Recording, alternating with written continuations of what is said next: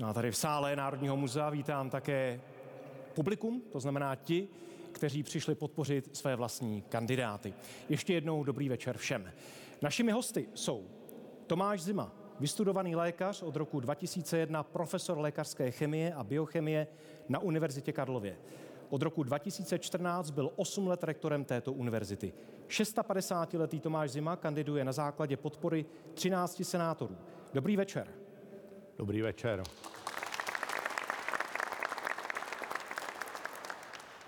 Marek Hilšer je senátor, místo předseda výboru pro sociální politiku, pedagog a vědecký pracovník. Je mu 46 let a na post prezidenta kandiduje po druhé. V prezidentských volbách kandiduje s podporou 13 senátorů. I vám dobrý večer. Dobrý večer všem.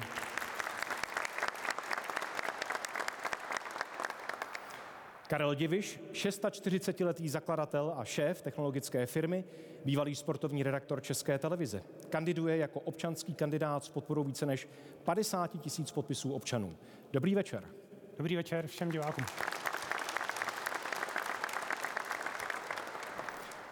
Jaroslav Bašta je poslancem za SPD. Právě 20 poslanců tohoto hnutí stojí za nominací 74-letého politika a bývalého diplomata na prezidentský úřad. Před rokem 1989 patřil k signatářům Charty 77. Dobrý večer. Dobrý večer.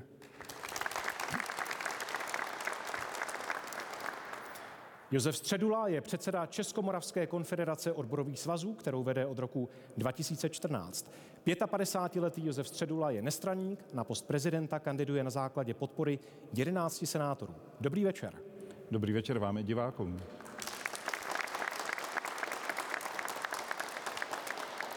Pavel Fischer, 57-letý senátor, předseda výboru pro zahraniční věci, obrany a bezpečnost, bývalý diplomat.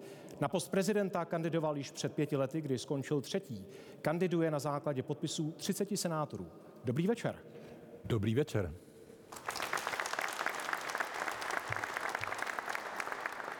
Danuše Nerudová v letech 2018 až 2022 byla rektorkou Mendelovy univerzity v Brně, kde také vystudovala obor hospodářská politika a zpráva. 44-letá profesorka se uchází o post jako občanská kandidátka na základě podpisů více než 82 tisíc občanů.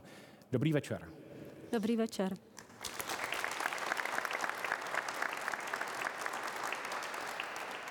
Petr Pavel, voják ve výslužbě, 61-letý Pavel působil mezi lety 2012 a 2015 jako náčelník generálního štábu České armády a od června 2015 byl tři roky předsedou vojenského výboru NATO. Kandiduje jako občanský kandidát s podporou více než 81 tisíc občanů.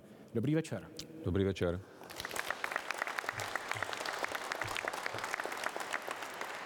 No do prezidentské debaty byl pozván také kandidát číslo 7 Andrej Babiš. Ten ale zvolil strategii, že bude vás, diváky České televize a většinu z vás, uchazečů o prezidentský úřad, kteří jste tady v Národním muzeu, ignorovat před prvním kolem volby.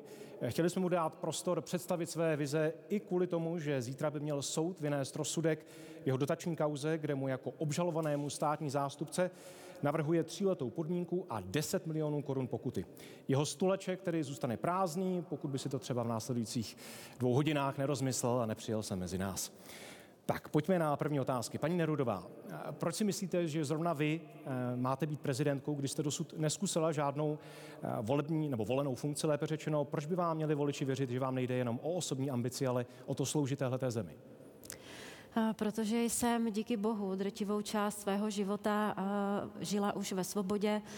Jsem zástupce generace, která se hlásí o slovo, nechce sedět v koutě, chce se aktivně zasadit o to, aby naše země byla lepší.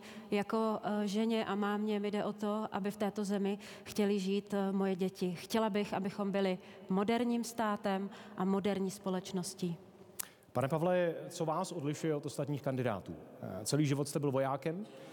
Jak přesvědčíte lidi, že vám nebude mm, neskušenost, řekněme, v úvozovkách s civilní funkcí eh, chybět? Že dokážete přesvědčit lidi, že i voják může být prezidentem?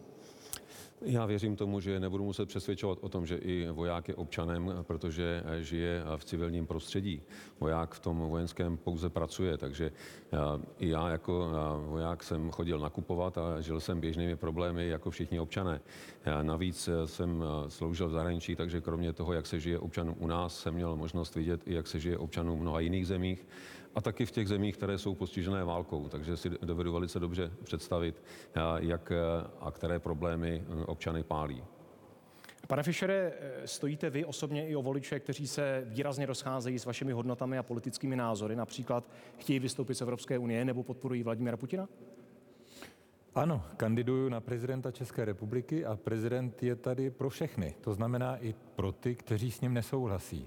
V těch zásadních otázkách národní suverenity nebo bezpečnosti naším garantem naší bezpečnosti ale není Vladimír Putin to bychom se se zlou potázali. Eh, je to eh, vlastně Severoatlantická aliance. Jsme členskou zemí Severoatlantické aliance, jsme členským státem Evropské unie a tato společenství jsou naší kotvou, jsou zdrojem naší, eh, naší prosperity. A já jako prezident se svým programem kandiduji v tom smyslu, abychom posilovali spolupráci a abychom v rámci tohoto společenství byli také platným členem, který se umí ozvat a hájit svoje zájmy. Pane Hilšere, vy kandidujete už po druhé, jste v čele hnutí, které jste založil, abyste dostával příspěvek od státu. Co výrazného jste vy nebo vaše hnutí za čtyři roky v Senátu udělal, abyste přesvědčil voliče, že byste byl v této nejvyšší politické funkci přínosný?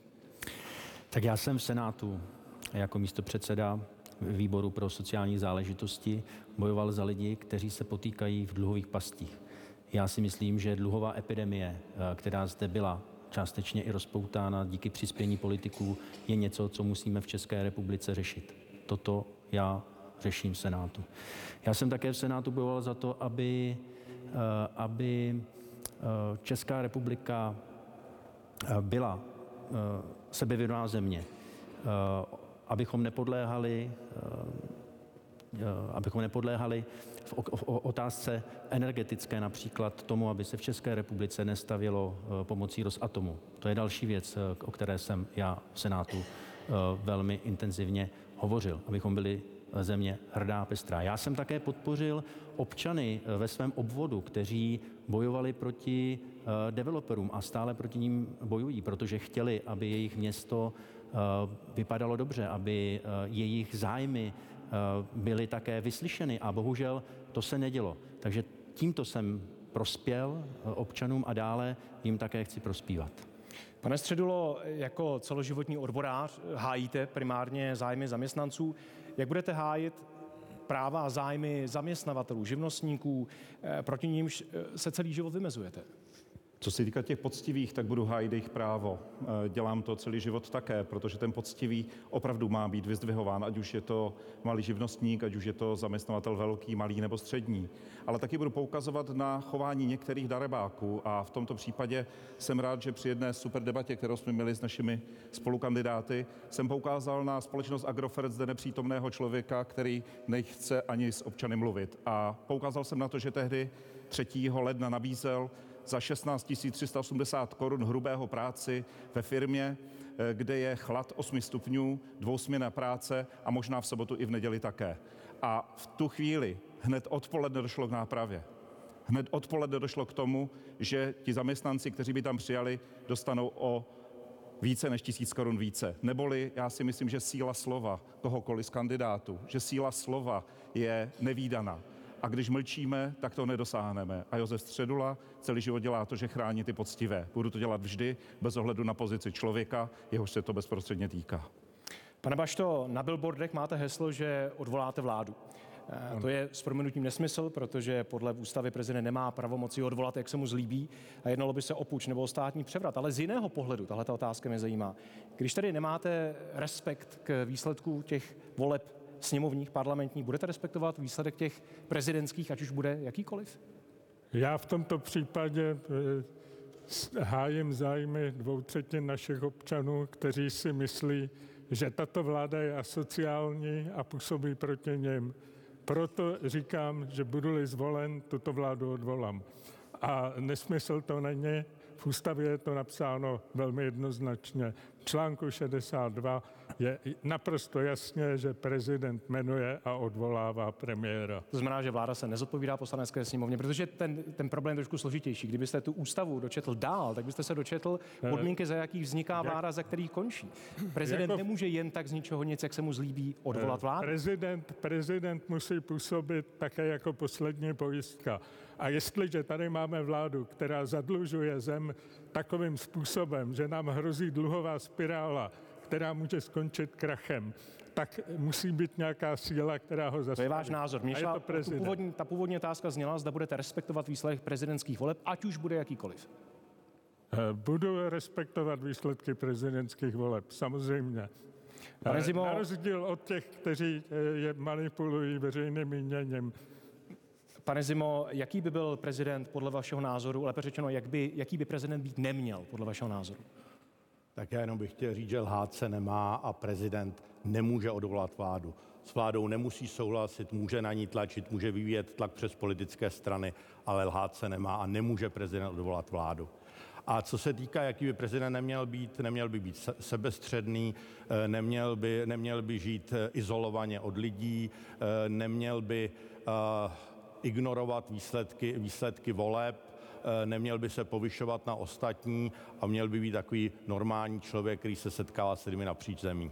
Eh, pane Diviši, vy jste bývalý sportovní komentátor, jste zároveň takhle majitel IT firmy, v obojím jste začínal od píky a vypracoval jste se. Eh, teď jdete opačnou cestou. Proč se chcete politickému řemeslu učit v té funkci úplně nejvyšší? Tak vy jste to řekl správně. Já jdu od píky i v této prezidentské kandidatuře a doufám, že jsme se tady dnes sešli všichni kvůli tomu, abychom se konečně začali bavit o tom podstatném. Kdo z nás a proč by se měl stát prezidentem České republiky. Má to být pán, který tady měl být a nepřišel. A odpuste mi jedno ostřejší slovíčko. To je skutečně takový srab, že se bojí přijít do celostátní televize země, které má jednou vládnout. To je pohrdání vámi, vámi, všemi námi, co tady stojíme. Má to být pan generál Pavel, který byl celý život si hrál na vojáka a ve chvíli, kdy dosáhl svého maxima, tak udělal co? Tak dezertoval do žvanírny, které se říká vojenský výbor NATO. A má to být paní Nerudová, docela sympatická dáma, ale co udělala? Falešně e, využila LGBT komunity k tomu, aby se vůbec stala kandidátkou a můžeme si povídat, můžeme si o tom myslet, myslet co chceme, ale máme také všichni strach, aby se potom nějaké prezidentské milosti na hradě neprodávaly jak vysokoškolské tituly. Já doufám, že o tom se dneska budeme bavit s respektem ke všem vašim otázkám. Děkuji.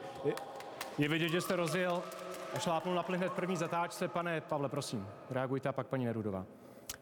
Nezlobte se, ale já na takovéhle věci reagovat nebudu. Já, pan Diviš, spor, řečeno sportovní terminologii, sundal rukavice, já ještě nechám. Paní Nerudová? Já tu nebudu házet špinu na ostatní kandidáty. Já si myslím, že tu máme všichni jeden společný cíl a to je zvolit prezidenta, který bude reprezentovat tuto zemi. A toho nedosáhneme tím, že tu na sebe budeme kydat špínu, takže já ty rukavice taky nesundám. Pane Fischere, vy jste chtěl reagovat ještě na začátku na předpokládám pana Baštu, prosím. Dovolte mi jenom krátce reagovat na slova eh, pana poslance Bašty. On totiž říkal, že by jako prezident odvolal vládu. Pokud by to skutečně prezident udělal, a nechci mu teďka kazit eh, radost nebo házet hračky do kanálu, ale kdyby to skutečně prezident udělal, tak druhý den o tom jednáme v Senátu eh, s ústavní žalobou, kterou předkládáme, protože by prezident se dopustil hrubého porušení ústavy. Tady opravdu je potřeba, abychom hlídali pravidla hry, a abychom vlastně říkali tak, jak to v ústavě stojí, Děkuji za tuto možnost reagovat. Tak, posuňme se dále, z tohohle není hlavní téma večera. Eh, mě by zajímalo, od začátku existence České republiky mělo Česko tři prezidenty. Eh, kdo je z těch prezidentů, kteří byli anebo stále jsou v úřadu vám nejbližší? Zkusme hlasovat. Můžete zvednout ruku ti, který, kteří považují za nejlepšího prezidenta Miloše Zemana? Václava Klause? A Václava Havla? Děkuji. Není vás tolik, abych si nedokázal ověřit, že jste nehlasovali dvakrát. Tak, pane Fischere, vy nastoupíte po deseti letech, pokud byste se stal prezidentem, prezidentství Miloše Zemana. V čem byste na něj chtěl navázat? Miloš Zeman se zabýval ústavou způsobem, kdy ji vlastně systematicky porušoval. A v tom bych chtěl udělat radikální změnu. To znamená ústavu dodržovat. V čem navázat? Věru nevím. E, určitě bych trávil mezi občany naší země hodně času, ale tím bych vlastně navazoval i na Václava Havla, který pro pamětníky, jenom připomínám, mezi občany v regionech také trávil mnoho času, něco o tom vím. Skutečně není nic, kde byste chtěl navázat na, na Miloše Zemná? Právě to cestování mezi občany do regionu je jedna z těch věcí, která je možná je spojovala. Miloš to, jsem právě, to jsem právě připomněl. Ano, na to je potřeba navazovat, ale není to nic nového. V tradici naší republiky najdeme dokonce, že takto cestoval třeba i Tomáš Garik Masaryk velmi často. Pane Pavle, který pozitivní prvek podle vás tady zanechal Miloš Zeman? Na té domácí scéně asi eh, vztah k armádě, neříkám k obraně, protože naopak svým vztahem k Číně a k Rusku eh, tu naši obrany schopnost zase eh, narušoval, ale zasazoval se o to, aby rozpočet na obranu neklesal pod ta 2%, ke kterým se nakonec on sám zavázal, když jsme spolu byli na summitu ve Walesu v roce 2014. A pak také se zasazoval o naplňování našich závazků v NATO, o to, abychom se zodpovědně účastnili i zahraničních misí. A v té zahraniční rovině zřejmě asi vztah k Izraeli, to bych možná hodnotil jako pozitivní. Jinak bych si dokázal těžko něco představit. Pane Bašte, vy jste byl jediný, kdo zvednul ruku tady, když jsem zmiňoval jméno Miloše Zemana. Byl jste zároveň disidentem, signatářem Charty 77 a byl jste právě ve vládě Miloše Zemana. Znamená to, že vám je bližší v těch věcech než Václav Havel? Já v tomto případě právě navazuju na to, eh, považuji za velmi významné to, co Miloš Zeman udělal před deseti lety. Eh, tehdy došlo v roce 2013 k politické krizi a šlo o to, že by měl odstoupit premiér Petr Nečas. Miloš Zeman mu pohrozil, že použije článek 62 ústavy České republiky a že ho odvolá. V tomto případě Petr Nečas který to přiznal veřejně, odstoupil sám. Takže nebylo zapotřebí toto udělat. A to upozorňuji na to, otázka. že tenkrát Víte, že jsem se ptal na Václava Havla a Petr, Zemana, vláda Petra na to, Nečase měla ve sněmovně podporu 118 hlasů, nejenom 108 jako tato. Pane Středulo, Václav Klaus dostal nejvyšší státní vyznamenání řád Bílého lva od Miloše Zemana. Václav Havel měl také díky zákonu speciálnímu. Udělíte řád Bílého lva Miloši Zemanovi, pokud byste byl prezidentem? Ne, neudělím. Eh, stávající prezident je nositelem těchto vyznamenání, mají propoučené a eh, ukončením jeho funkce skončí. Nemám důvod udělovat prezidentům ocenění. To znamená, že si nevážíte jeho práce? Ale to, že si vážíte třeba některých částí jeho práce, ještě neznamená, že, je to důvod, že je to důvod pro udělení státního vyznamenání. A já si myslím, že ten důvod není. Paní Nerudová, sluší se poděkovat Miloši Zemanovi, který pracoval jako prezident 10 let?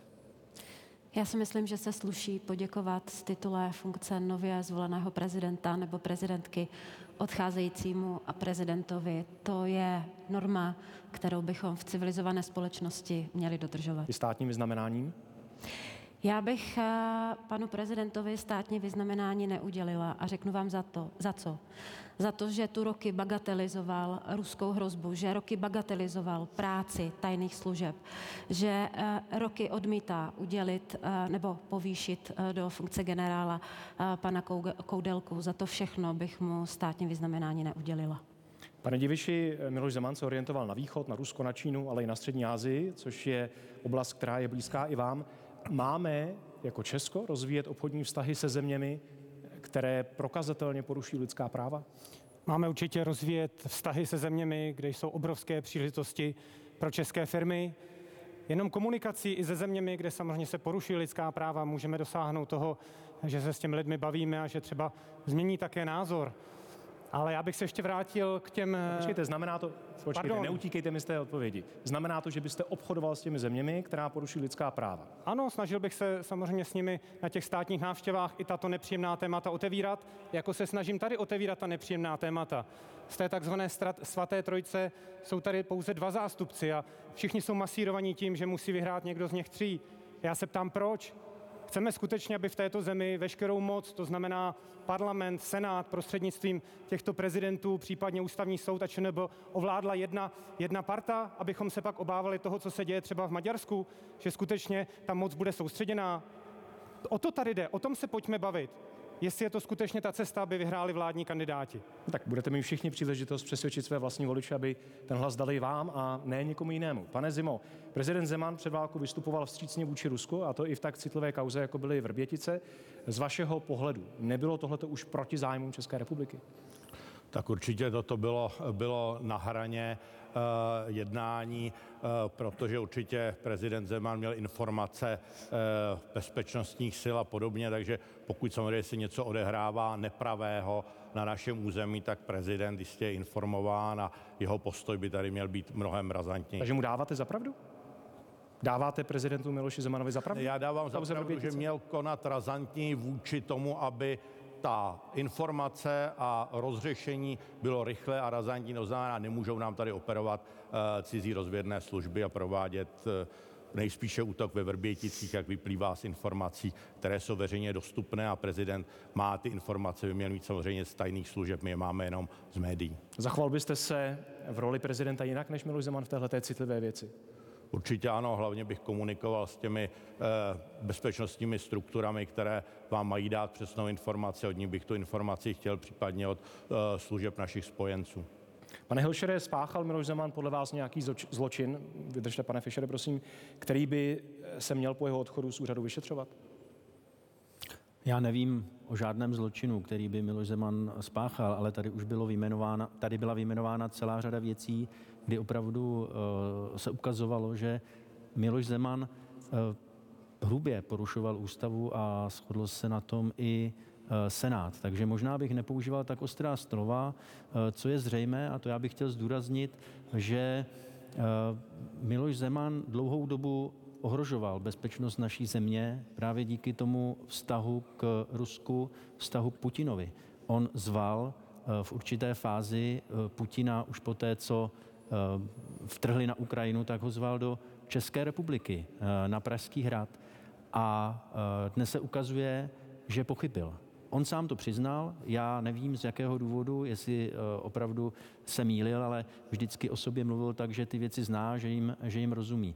Ale já jsem rád, že Miloš Zeman nakonec přišel na to, že udělal chybu, že eh, i my občané, které, kteří jsme kdysi eh, protestovali proti jeho krokům, takže uznal, eh, že jsme měli tehdy pravdu. Pane Fischere, prosím, jste chtěl reagovat? Děkuji za tu možnost. V čem je ta vrbětická kauza tak důležitá? Tam se jednalo o působení cizí moci na našem území, dokonce ozbrojených sil Ruské federace v moravských Vrběticích. A prezident republiky tam velmi vážně ohrozil bezpečnost České republiky, protože eh, se choval neloajálně vůči vládě, která ten problém musela řešit. A protože prezident při ujímání se úřadu slibuje loajalitu nebo věrnost České republice, on se vlastně choval neloajálně. A tady je potřeba, abychom se tím zabývali. V Senátu jsme se tomu věnovali několik měsíců. A je to zločin nebo ne? Byl to zločin, byl to vlastně, eh, eh, byl to projev prezidenta, který pracoval pro cizí mocnost a nehájil zájmy České republiky. Dopustil... Mělo by se toto vyšetřovat po konci jeho mandátu? Ano, dopustil se tam například vyzra... vyzrazení utajovaných skutečností z utajovaných spisů nebo vyzradil skutečnosti z vyšetřovacího spisu té vyšetřované straně, mluvím teďka o Ruské federaci. Paní Neruda, vy jste chtěla reagovat, prosím. Já jsem, se... Já jsem chtěla reagovat ještě na tu lidskoprávní agendu. Pokud bych byla zvolena prezidentkou, tak lidskoprávní agenda je něco, na co bych kladla velký důraz. Já si nemyslím, že máme bez omezení obchodovat se zeměmi, které porušují lidská práva. A, a myslím si, že je potřeba skutečně otevřít téma Číny, protože Čína je jednou z největších bezpečnostních hrozeb pro nejenom Českou republiku, Evropskou unii, ale pro celý globální svět. A myslím si, že na. Co to znamená konkrétně? Že, pardon, že vás skáču do řeči, ale že byste neobchodovala s Čínou? Uh, já si myslím, uh, že je na čase, abychom začali hovořit o tom, že musíme omezovat export některých technologií uh, do Číny, tak jak to dělá Německo, nebo jak to začalo dělat USA, protože Takže obchodovat, ale ale přesně tak. A měli bychom si vydefinovat pro nás strategické oblasti, ve, které, ve kterých prostě budou existovat omezení. Protože COVID nám ukázal, co může způsobit to, když se ženeme za levnou pracovní sílou a podceňujeme bezpečnostní riziko Číny. No, zdá se, že tohle je téma, které vás nenechává chladným. Já jsem za to rád. Tak pojďme, eh, pane Bašlo, prosím, pak pan Hilšer. Já jsem jenom chtěl reagovat tady na pana eh, senátora Fischera. Víte, v právním státě se, jestli někdo spáchal zločin nebo ne, tak to nakonec určuje soud. A eh, jestli se nemýlím, tak ta obvinění padla i ze strany prezidenta Miloše Zemana vůči Senátu nebo vůči některým senátorům, kdy se vyslovil tak, že v době, kdy on onemocněl, eh, tak se pokusili o ústavní půjč. To jste zajímavě spojil, pane Hilšere, prosím. Já bych chtěl připomenout opravdu to téma bezpečnosti, bezpečnosti eh, České republiky, ale i bezpečnosti Evropy eh, ve vztahu k těm diktátorským zemím. A to samozřejmě, jak se týče Číny, tak třeba i Ruska. My dneska vidíme, že nemáme, že nemáme léky protože se vyrábí někde v Číně nebo někde v Indii. My vidíme, že Čína skupuje po světě i v Evropě přístavy a že se chystá na to, že určitým způsobem posílí, posílí svoji, svoji moc. A my tady budeme mít do budoucna opravdu velký problém. Takže na to musíme myslet.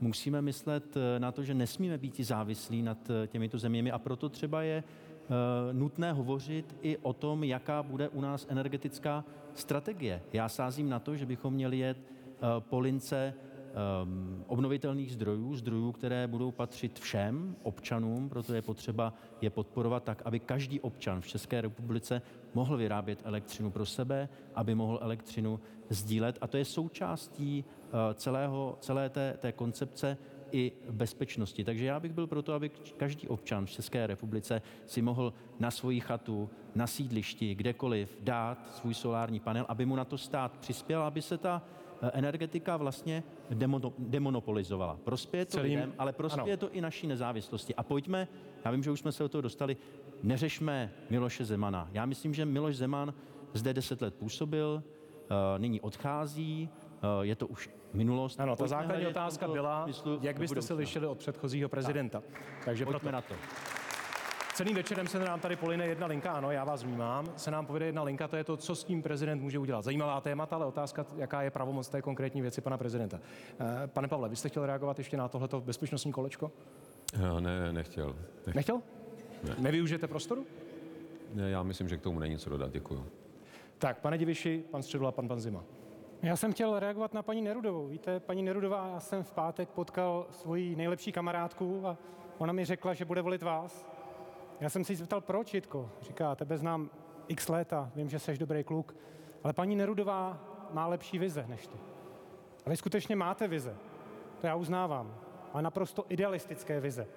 To je jak s těmi lidskoprávními věcmi v Číně. Ani já nejsem eh, happy z toho, že Ujgurové eh, vlastně eh, na tom nejsou dobře. Ale ty ekonomické, vy jste ekonomka, ale vy jste ekonomka teoretička.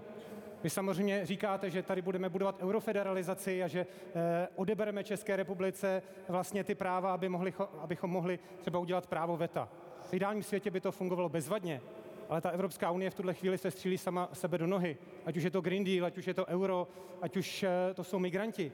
Takže vize máte, ale já si myslím, že máte naprosto špatné vize. Pane chcete krátce reagovat? Jest, jestli mohu, a já bych chtěla jenom říct, že to právo VETA právě v tuto chvíli v Evropské unii platí právě proto, aby nemohl být přijmout jakýkoliv, jakákoliv směrnice nebo opatření, se kterým by některý členský stát nesouhlasil. Ale vy říkáte, že se ho máme zbavit, že chcete přejít na většin, většinové právo. Já hovořím o tom, že Evropská unie nejdřív musí zreformovat svoje instituce a procesy, protože nereaguje úplně pružně a teprve potom může začít diskuze o změně hlasování v Evropské unii, ale dříve ne. A já mám ideu, aby Česká republika byla zase nejlepší, nej, nejlepší zemí v Evropě nebo na světě, Prosím. i bez Evropské unie. Jsem já vidím, rád, že jste teď přerušil ten dialog, uh, protože si myslím, že téma bezpečnosti České republiky pro budoucího prezidenta České republiky přece musí být jedno z velkých témat. Česká republika byla za posledních několik let vystavena kybernetickým útokům. Česká republika se dostává také do situace, že nejen z zemí, o kterých tady hovoříme, ale i z jiných zemí hrozí, že může mít problém s dodávkami důležitých komodit pro ekonomiku českou, pro zdraví českých občanů. A to si myslím, že prezident republiky jako vrchní velitel ozbrojených sil, člověk, který může docházet na jednání Bezpečnostní rady státu, má svého vojenského přidělence, který koordinuje některé činnosti, tak si myslím, že je jednou z velmi důležitých osob v rámci České republiky, který za právě bezpečnost eh, nejen zodpovídá, ale má možnost do ní vstupovat. A já si myslím, že toto bude obrovité pole v té neklidné době, která nás čeká, aby prezident republiky byl nesmírně aktivní. A zároveň, poslední poznámka, prezident republiky je součástí legislativního procesu. A když bude 8. března inaugurován, tak už měsíc a půl bude běžet debata na téma státního rozpočtu na rok 2024, kdy má být poprvé dosaženo po dlouhé době 2% výdajů na obranu a na bezpečnost ze státního rozpočtu. To bude obrovité téma.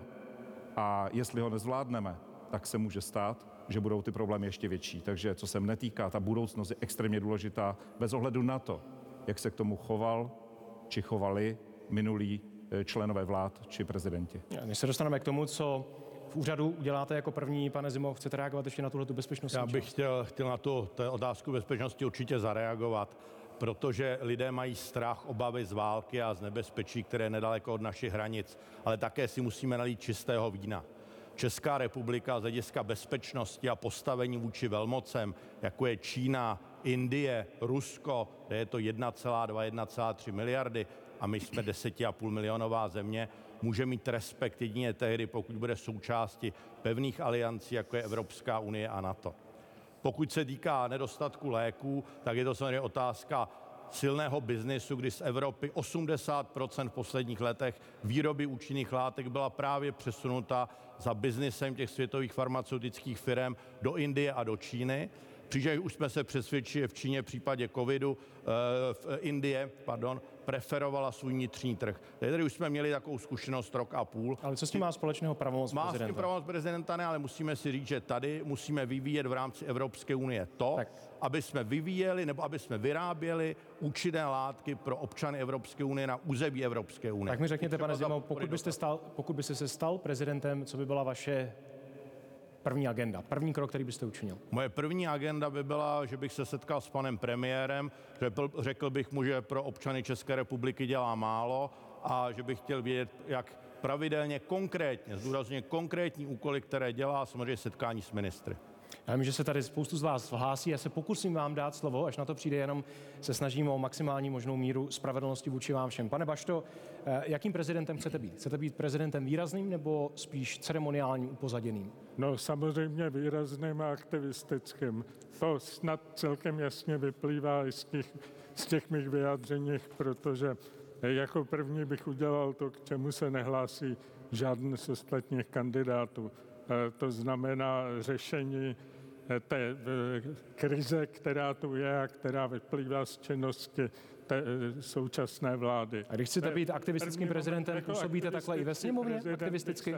Samozřejmě účastnil všech zasedání vlády, zasedání poslanecké sněmovny, občas i senátu a snažil bych se o to, abych se maximálně viděl s občany, slyšel jejich stížnosti a pomáhal jim v tom, eh, co je trápí. A když se Ještě jednou opakuju tu otázku. To, jste trápí, přesvědčen o tom, pane Bašto, že takhle se chováte jako poslanec, že jste aktivistický poslanec? Mě trápí bída, která nastupuje protože tato vláda jim říká, že mají si jít pro sociální dávky. Pane Bašto, Když prosím, si pro ně jdou, tak budete schopen mi prosím odpovědět na otázku? Takže tohle by byla jedna z těch věcí, se, na kterou bych... Odpovíte mi na tu otázku, nebo ne? Právě tím tlakem na tu...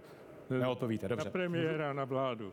Pane Pavle, eh, prezident jmenuje premiéra, jmenuje ministry. Eh, I v zájmu prezidenta je, aby měla země stabilní vládu. Přesto má prezident veřejně vystupovat proti vládě, když nesouhlasí s jejími politickými kroky? Já si myslím, že prezident eh, je stejně jako vláda a parlament eh, jedním z pilířů eh, státu a měl by především se starat o to, aby nejenom společnost, ale samozřejmě i vláda byly stabilní. Rozhodně by neměl zdůrazňovat to, co zdůraznil zde nepřítomný kandidát, že půjde vládě po krku, protože on by jí měl primárně pomáhat. A teď nemyslím pomáhat tím, že ji bude neustále chválit, v tomto rozhodně není, ale v tom, v čem si vláda zaslouží pochválit, tak ji pochválit, v tom, v čem dělá něco jinak, než by si představoval nebo než je správné, tak by měl s premiérem primárně s premiérem to konzultovat. Miloš Zeman to často dělal tak eh, teatrálně, že eh, na veřejnost eh, dával vědět svůj nesouhlas cestou médií. Já si myslím, že civilizovaná forma je v pracovní zkoušce prezidenta s premiérem a diskuze o těch věcech, které jsou sporné. To si myslím, že by měl prezident dělat. Dokážete popsat situaci, kdybyste vystupoval výrazně proti vládě? Co by to mohlo být? Já bych neřekl, eh, alespoň s touto vládou, eh, nic, eh, žádné téma, které bych viděl jako výrazně špatné, ale vidím nedostatky a o těch nedostatcích mluvím i teď. Já si myslím, že pokud bych byl prezidentem, tak bych s premiérem Fialou hovořil o tom, jestli ty kroky, které vláda přijímá, například na pomoc těm, kteří jsou krizí postižení nejvíc, jestli je přijímá včas, jestli jsou přijímána dostatečně účinně a tlačil bych na vládu, aby ty kroky naplnily ty požadavky. Myslím si, že to je cesta a ne v tom, že budeme dělat silná mediální prohlášení. Paní Nerudová, kterou pravomoc byste vy označila za nejdůležitější a jak byste z ní nakládala? No, nejdůležitější pravomoc považuji jmenování premiéra této země a druhou nejdůležitější jmenování guvernéra České národní banky. A tohle jsou věci, které jsou, zdá se, pokud se nic nestane v tuto chvíli na několik let jasné, zablokované, řekněme v úvozovkách, zabetonované. Tak další pravomoce? Prezident má spoustu eh, pravomocí, některé jsou výlučné a některé jsou sdílené. Eh, o jedné té pravomoci se teď vede diskuze, je to třeba jmenování předsedy ústavního soudu, eh, jmenování předsedy nejvyššího správního soudu, jmenování na návrh vlády, velvyslanců a je to celá řada dalších pravomocí. Já musím říct, že už tuto chvíli se stavím velmi na odpor Eh, tomu, eh, co Miloš Zeman avizoval a dnes to zopakoval v eh, rádiovém vysílání, že disponuje analýzou, dle které by mohl jmenovat již teď nového předsedu ústavního soudu, tak tady bych chtěla říct, že pokud bych byla zvolena, tak bych tento akt považovala za neexistující a jmenovala bych nového předsedu ústavního soudu, protože dle názoru ústavních právníků, se kterými jsem hovořila já, je tohle v základním rozporu s principem vlády na čas. On by totiž Miloš Zeman taky v tuto chvíli mohl jmenovat nového guvernéra České národní banky od roku 2028. Pane Diviši, eh, z těch vašich vyjádření předpokládám, že byste se snažil být aktivním prezidentem, ale jak moc angažovaným prezidentem byste chtěl být? Určitě bych chtěl být aktivním prezidentem a chtěl bych říct, že tady mám řešení eh, vlastně pro pana Středulu, pro pana Baštu a pro pana Pavla, protože souhlasím naprosto s panem Středulou, že v takhle těžké situaci potřebujeme vydávat 2% HDP eh, na zbrojení. Ale ne, abychom kupovali nějaké předražené F-35, Eh, pane Pavle, možná díky nějakým lobistickým zájmům, ale my potřebujeme ty peníze investovat do technologií, do takzvané e-armády, elektronická armáda. Co to je? Čelit kyberhrozbám, čelit eh, pomocí dronů, bezpilotních systémů eh, vlastně těm eh, hybridním válkám. A to je i odpověď pro pana Baštu, protože pokud budeme pros, naše, naše země prosperovat díky technologiím, tak pak nemusíme řešit takovéto věci, jako odvolávat protiústavně vládu. Takže to jsou moje, moje řešení, moje recepty a moje realistická řešení k tomu, aby Česká republika znovu byla v takzvané lize mistrů v Evropě a e, ideálně ve světě. Pane Fischere, prezident většinou v těch, ano, já vám vycházím stříc, ale dovolím si taky položit otázku. Dostane ve volbách víc hlasů než všechny politické strany, které potom vládnou dohromady, myslím té přímé volby. Oproti tomu má prezident eh, malé pravomoci. Jak byste s touhletou nerovnováhu, pokud ji taky vnímáte, naložil? Prezident musí respektovat ústavu, na tom se všichni shodneme. A zároveň má velký neformální vliv, tedy politický vliv. A ten může uplatňovat například v otázkách, které přesahují funkční období vlády, nebo dokonce i jeho. Je tady celá pestrá eh, série otázek týkajících se budoucnosti, eh, na které bychom neměli zapomínat a na, na které pro samé krize dneska nemáme čas. Tomu je potřeba věnovat pozornost a prezident může právě využít toho svého neformálního vlivu, aby k těmto důležitým otázkám, které jdou daleko do budoucnosti, eh, například uspořádal diskusy a svolal k jednomu stolu eh, i ty, kteří jsou dneska ve vládě, i ty, co jsou dneska v opozici nebo občanskou společnost. Můžete být Ale... konkrétní? Co přesně máte na mysli? Například otázku klimatické změny, reformu důchodu, reformu daňového systému, reformu zdravotnictví a další. Ale jestli se můžu vrátit k jedné otázce, která tady padla. E-armáda. Já jsem nic takového ještě neslyšel v našich strategiích, ale za to tam máme v našich obraných strategiích a úkolech pro obranu celou řadu nesplněných věcí. Například vybudovat eh, plně eh, funkční eh, obrněnou brigádu, k tomu jsme se zavázali v rámci Severoatlantické aliance a to je věc, která se týká dneska obrany schopnosti České republiky. S tím souvisí například obnova našich strategických zásob, schopnost rozvinout naše ozbrojené síly k plné mobilizaci. Tady máme obrovské rezervy. A poslední příklad za všecky zapojit do tohoto úsilí taky český obraný průmysl a zbrojní průmysl. Protože my někdy nakupujeme nákladné technologie, ale my bychom s nimi mohli také nakupovat například licence. Z tohohle pohledu prezident právě v otázkách obrany státu a obrany schopnosti země může udělat hrozně moc. Pane Hilšere, eh, podle vašeho názoru je potřeba zpřesnit ústavu, aby neměla nejasné termíny pro některé činnosti prezidenta, aby byl přesněji vymezena ta, ta množina jeho pravomocí? Nebo jste spokojen s tím tak, jak to je? Já se k tomu dostanu, ale já bych chtěl požádat o jednu věc. Já jsem před pěti lety zažil eh, prezidentskou debatu a ta debata byla velmi gentlemanská. Já si myslím, že prezident by měl být eh, gentleman.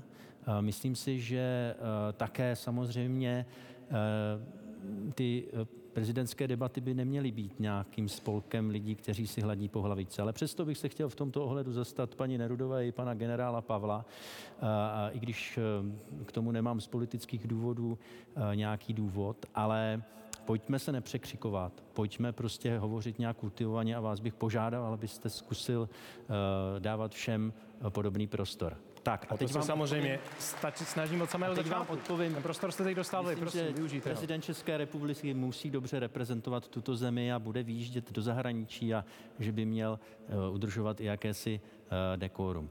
Teď vám odpovím. Zpřesnit ústavu, to je, myslím, velmi složité. Já bych nebyl proto, aby se zpřesňovaly například nějaké termíny v tom, kdy prezident má uh, jmenovat nebo nejmenovat ministry. To, uh, myslím, nejde a všichni ústavní právníci nebo většina ústavních právníků se na tom shodne.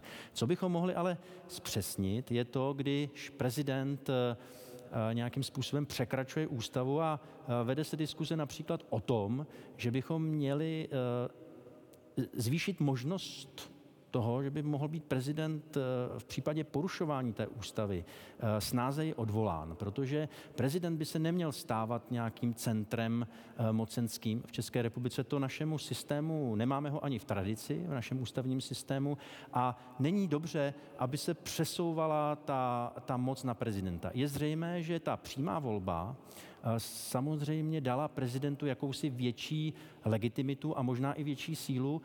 A je přirozené, že vlastně každý prezident se bude snažit využít své pravomoci až vlastně k nějaké, nějaké hranici ale nejsme v prezidentském systému a pokud tedy máme hovořit o nějakém zpřesnění, tak já bych byl proto otevřít tu debatu eh, v té situaci nebo pro ty situaci, kdy prezident eh, se utrhne z řetězu, tak jak jsme to, jak jsme to zažili a vlastně eh, přestává být, jak si on z ústavy je neodpovědný, ale měl by být více, více odpovědný a měl by vědět, že si musí také dávat pozor. Pane Středulo, když tady hovoříme o zahraniční politice, eh, například v té zahraniční politice, pokud se bude v nějaké konkrétní oblasti lišit postoj vlády a prezidenta, kdo má mít navrh? V prvé řadě by mělo dojít tomu, že prezident republiky má shodnou zahraniční politiku s vládou. Může to být klidně debata velmi ostrá, která se odehrává na interní bázi. Může to být debata o základním směřování, ale rozhodně by to vně nemělo působit. A nemělo by být známo o tom, že dochází k rozporu, protože zahraniční politika by měla být jenom jedna, jen České republiky. Ale koukněme trochu více do budoucna. V sousedním Rakousku došlo k zajímavé politické situaci, kdy do vlády přišly, přišla politická strana, která byla překvapení a která mohla změnit rakouskou zahraniční politiku. A nemusel s ním tehdy prezident souhlasit. I nám se to může někdy stát.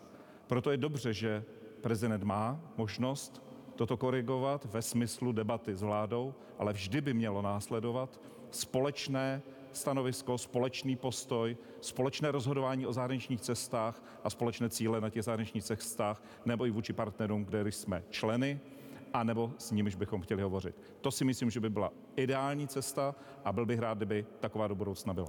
Je potřeba připomenout, že za zahraniční politiku je zodpovědná vláda. Eh, já budu rád, pokud v této debatě se otevřete trochu více než možná v některých jiných a prozradíte na sebe možná i některé citlivé věci, samozřejmě v rámci toho, co budete chtít. Jedna z těch otázek, která by mě zajímala, eh, jestli prozradíte voličům, koho jste volili v předchozích sněmovních volbách. Paní Nerudová. Eh, já celý svůj život volím pravicové strany. To znamená? Byla to koalice spolu. Pane Pavle? Trojkoalici spolu. Pane Hilšere? Já nevolím podle průzkumu, takže jsem eh, dost často dával i hlas těm, kteří měli nějakou ideu, nějakou myšlenku, ale přesto se říkalo, že nemají šanci. A ono se občas ukázalo, že šanci mají. Ale já nebudu prosvazovat své preference, protože si myslím, a to říkám, že ten prezident by měl jaksi spojovat společnost a nevytvářet nějaké eh, jako vazby a, a, spojitosti. Myslíte, že Takže se, se omlouvám všem voličům.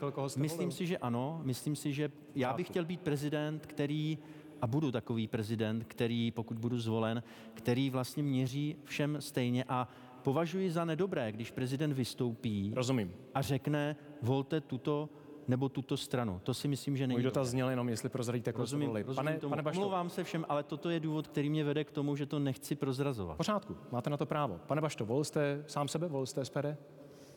Já bych samozřejmě byl prezidentem nadstranickým. A i když patřím k jedním ze dvou kandidátů, které, kteří mají podporu politické strany. Ale Volil já bych jste se tuto chtěl stranu? vrátit ještě k tomu hlavnímu problému, který je dnes. Volil jste tuto stranu, pane, pane Baško? funkci prezidenta, o jeho fungování v normální situaci, tak eh, se svými Pane Bašto, já jsem vám kolegy položil souhlasím. otázku. Ale my v normální situaci nejsme. My jsme v nejhorší krizi za posledních 33 let.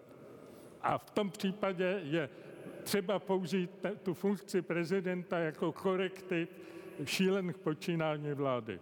To je, zdá se, vaše agenda, s kterou se sem vstoupil a budete ji opakovat a neodpovídat na otázku podle všeho. Pane Fischere, prosím.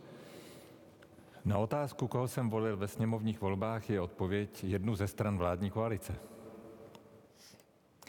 Pane Středulo, Já se nestydím za to říct, koho jsem volil, jako tady někteří kolegové. Vůbec nevidím důvod, proč by to tak mělo být. Naopak, já jsem volil Českou stranu sociálně demokratickou. Je mi líto, že není v poslanecké sněmovně a věřím tomu, že levice v poslanecké sněmovně opět bude. Pane Diviši, prosradíte, koho jste volil v posledních já jsem volbách? tady nejvíc nezávislý kandidát ze všech a chtěl bych takový zůstat i v roli prezidenta, tak celá úmyslně neprozradím, koho jsem volil. A je škoda, že pan Fischer, když volil eh, koalici, takže neposlouchal úplně tak svého premiéra, protože on v novoročním projevu mluvil ne sice slovem e-armáda, ale mluvil o tom, že právě vznikají konzorcia českých firm, že děláme ty Pane technologie. Diviši, já se ptal jenom na to, koho jste volil. já jsem odpověděl, ale já jsem... A volil jste. Volil jsem, ano, chodím pravidelně. Pane Zimo? Tak já chodím k volbám pravidelně, nebudu prozrazovat, koho jsem volil, ale ještě k tomu minulému kolečku. Já si myslím, že výdaje na obranu budou růst. Je otázka, jestli těch 2% není hodně, protože eh, v tomto a příštím roce jsme ve velmi obtížné době a dvě třetiny domácností se dostávají na eh, hranice toho, aby, aby mohli důstojně žít, tak bude to určitě velmi obtížné a neměli bychom pomo- eh, zapomínat na pomoc těm potřebným. Jednou z věcí, které se vážou přímo k výkonu funkce prezidenta, je eh, ta část ceremoniální část, která se váže k dějiným okamžikům České republiky, případně Československa, ke státním symbolům. Mě by teď zajímal váš vztah k této oblasti. Pane Zimo, když už tedy jsme byli u vás, zůstaňme u vás. Před týdnem jsme si připomněli 30 let vzniku samostatné České republiky. Eh, Jak jste jako občan, ne jako kandidát na prezidenta, eh, to znamená loni a dříve, si připomínal první leden? Tak já se si připomínám si řadu eh, významných dní české, české státnosti, ať je to první leden, ať je to 5. 6. července, ať je to 20. Jak jste si připomínal vznik republiky před Připomněl jsem si eh, procházkou po Praze, pokloním se u Tomáše Garika Masaryka, často jsem tam, tam chodil eh, i do Lán v minulosti na významná místa, na Velehrad, eh, po jiných místech, které jsou spojeny s českou státností. Pane Středulo, kdy jste se naposledy dojal u české hymny? Pokud. Většinou to bývá, když je člověk tomu přítomen. ale nejsilnější dojem mám vždy ve Vladislavském sále Pražského hradu. Když zní hymna nebo když zní při příchodu paves před eh, předáváním státních vyznamenání, tak vždycky, když na ně pohlídnu, tak vidím ty lidi, kteří padli za Českou republiku a musím říct, že se chvěju po celém těle vždy, když tento eh, okamžik zažiju. Je to opravdu silné a je to velká úcta vůči všem těm v historii. Paní Nerudová, teď při výročí 17. listopadu jste se, pokud se nepletu, velká část, pokud ne všichni, jako kandidáti prostřídali u pomníku na Národní třídě. Kdy jste tam naposledy byla před rokem 2022? Jako rektorka univerzity jsem pravidelně vždycky slavila 17. listopad i předtím a svoji pozornost jsem dělila mezi Brno a Prahu, protože jsem v Brně vždy eh, chtěla vystupovat a mluvit eh, před studenty, kteří organizovali eh, oslavy a samozřejmě, že jsem chodila dávat kytky s ostatními rektory i, i do Prahy. A musím říct, že letošní procházka mě nabila obrovským optimismem. Já jsem byla nesmírně nesmírně šťastná, když jsem viděla národní třídu plnou mladých lidí. Lidí, kteří si nepamatují listopad, protože se ještě nenarodili. A ta třída byla plná mladých lidí, kteří slavili svátek svobody. A já si myslím, že je to strašně důležité, že i generace, která listopad 89 nezažila, eh, to považuje za svátek, za oslavu svobody a demokracie a že si uvědomují, že to nejsou hodnoty, které jsme jednou proždy získali, ale že je strašně důležité, abychom o ty hodnoty pečovali, aby jsme je nepozbyli. Chodila jste tam na Národní třídu, případně v Brně sama, za sebe, v civilní roli, nikoliv jako rektorka někdy dříve?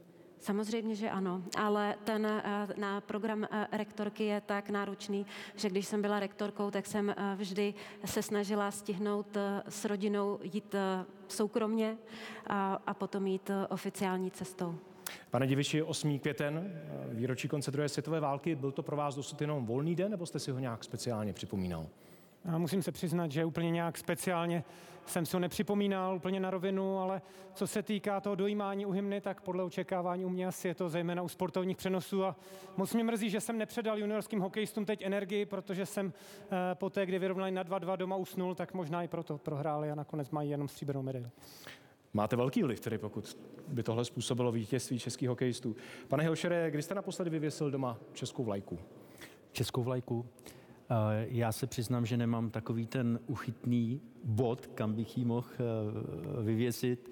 A víte, že o tohle to nejde, mě o to, zda si vyvěšujete nebo ne. Ale dost často si českou hymnu zpívám, protože já jsem také zpěvák a, a často jsem absolvoval i různé akce, Eh, možná i různé, různé demonstrace, kdy jsme se brali za spravedlivou věc a bojovali jsme proti nepravostem. Takže já bych vám klidně českou hymnu tady mohl zaspívat. Je to, je to, něco, je to něco úžasného. Já myslím, že česká hymna a její akordy nás vždycky berou u srdce a já se dojímám můžu říct, že jako po každý, jo, když, když to jde i do, do toho finále a teď ten český...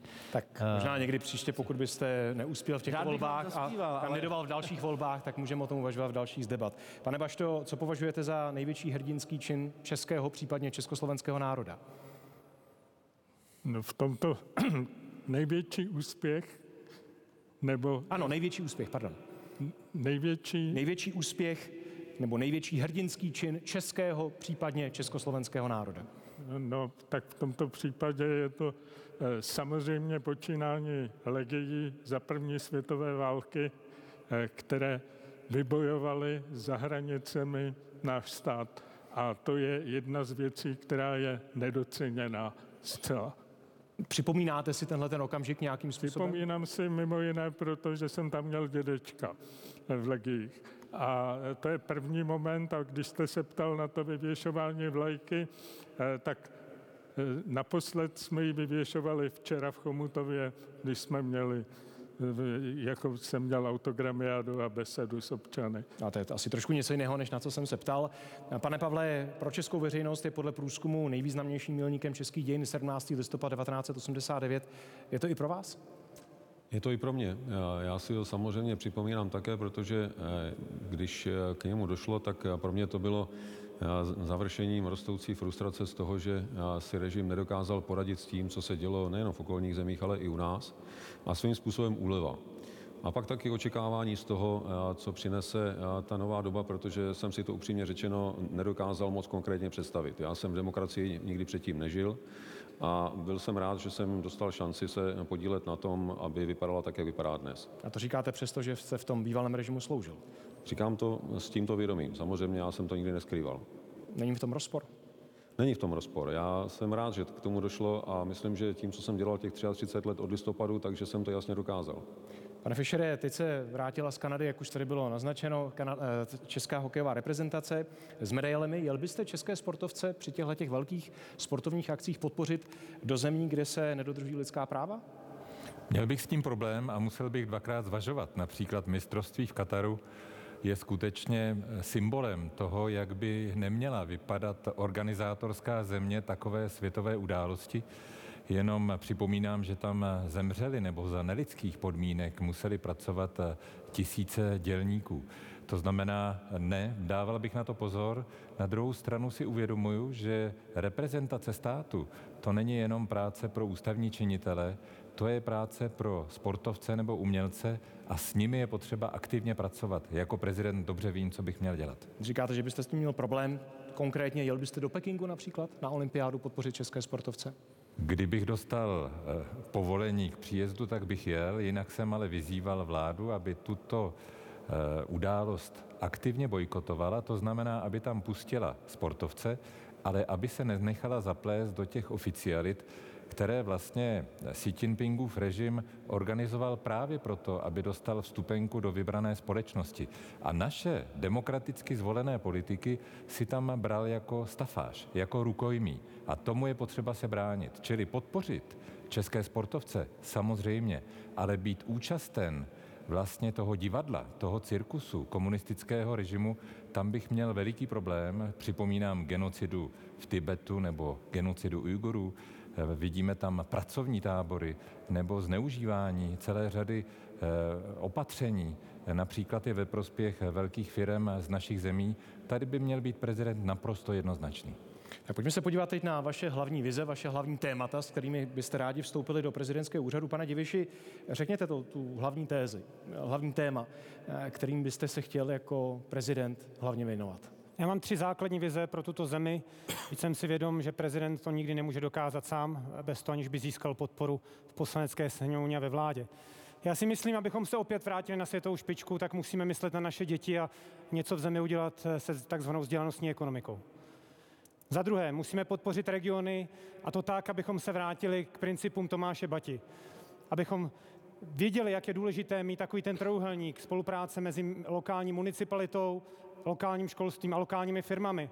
Včera jsem byl na besedě a říkal to jeden starosta v Lomu u Litvínova, říkal, teď tady prostě, když si někdo něco koupí, tak závidí tomu řezníkovi, že má, že má hodně peněz, místo aby podpořil toho řezníka, aby on zase své děti dal do místní školky nebo, nebo koupil něco jiného.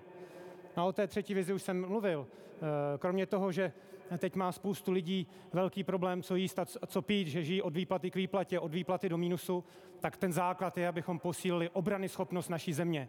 A to neuděláme těmi F-35, to uděláme tím, že konečně rozvineme eh, naši obrany schopnost díky moderním technologiím, eh, budeme čelit hybridním hrozbám, eh, dobudujeme ty drony a všechny další věci. Mně se lidé smáli, co jsou ty drony a dneska na Ukrajině to viděli všichni, respektive před v tom únoru, že ty drony na jedné straně ničí ruské tanky, které tam stojí, ten ruský šrot, a z druhé straně ty rusové pomocí iránských dronů v zásadě útočili na civilní infrastrukturu. Tak už konečně pojďme s tím něco udělat, pojďme nastavit nastartovat naší zemi, aby byla moderní, sympatická, slušná země, aby patřila nám a my jsme konečně dokázali něco pořádného a byli eh, zpátky ve hře. No, dovolte, abych vám připomněl, že každý dostanete 30 sekund na závěr, abyste ten hlavní zkaz voličům eh, předali. Pane Pavle, jak si vás má zapamatovat historie, až úřad opustíte, pokud byste se stal prezidentem?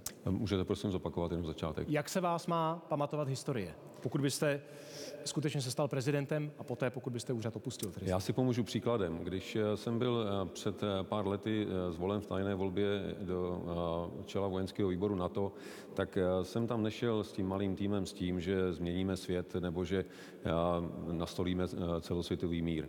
Ale šel jsem tam s tím, abychom odvedli profesionálně dobrou práci, aby všichni, kdo s námi budou pracovat, věděli, že se na nás mohou kdykoliv obrátit, že jsme byli transparentní, srozumitelní a až tu práci ukončíme, aby si řekli, že to s námi nejenom fungovalo, ale že to taky byla docela pohoda. A to bych moc rád, aby v případě, že budu zvolen, takovýhle pocit zůstal, až budu končit ve funkci. Pane Středulo, jak by si vás měla historie pamatovat po pěti letech prezidentského úřadu, případně deseti? Já bych byl rád, aby ta paměť byla naplněna tím, že to byl bojovník za lepší život lidí. Že byl schopen spojit ty, kteří si mysleli, že se nemohou spojit za, a sednout si za jeden stůl.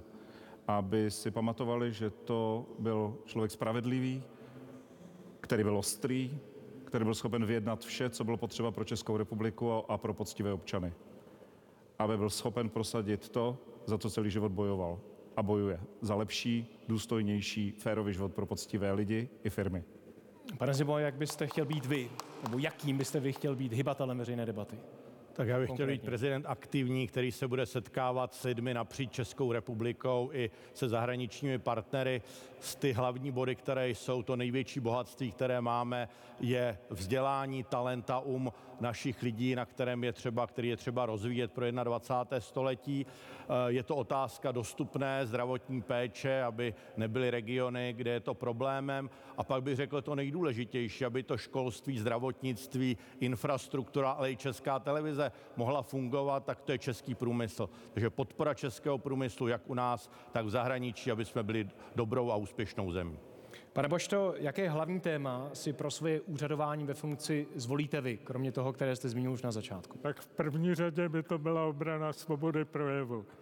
A chtěl bych se zapsat do historie jako prezident, který i ve své funkci dělal to, co dělal celý život.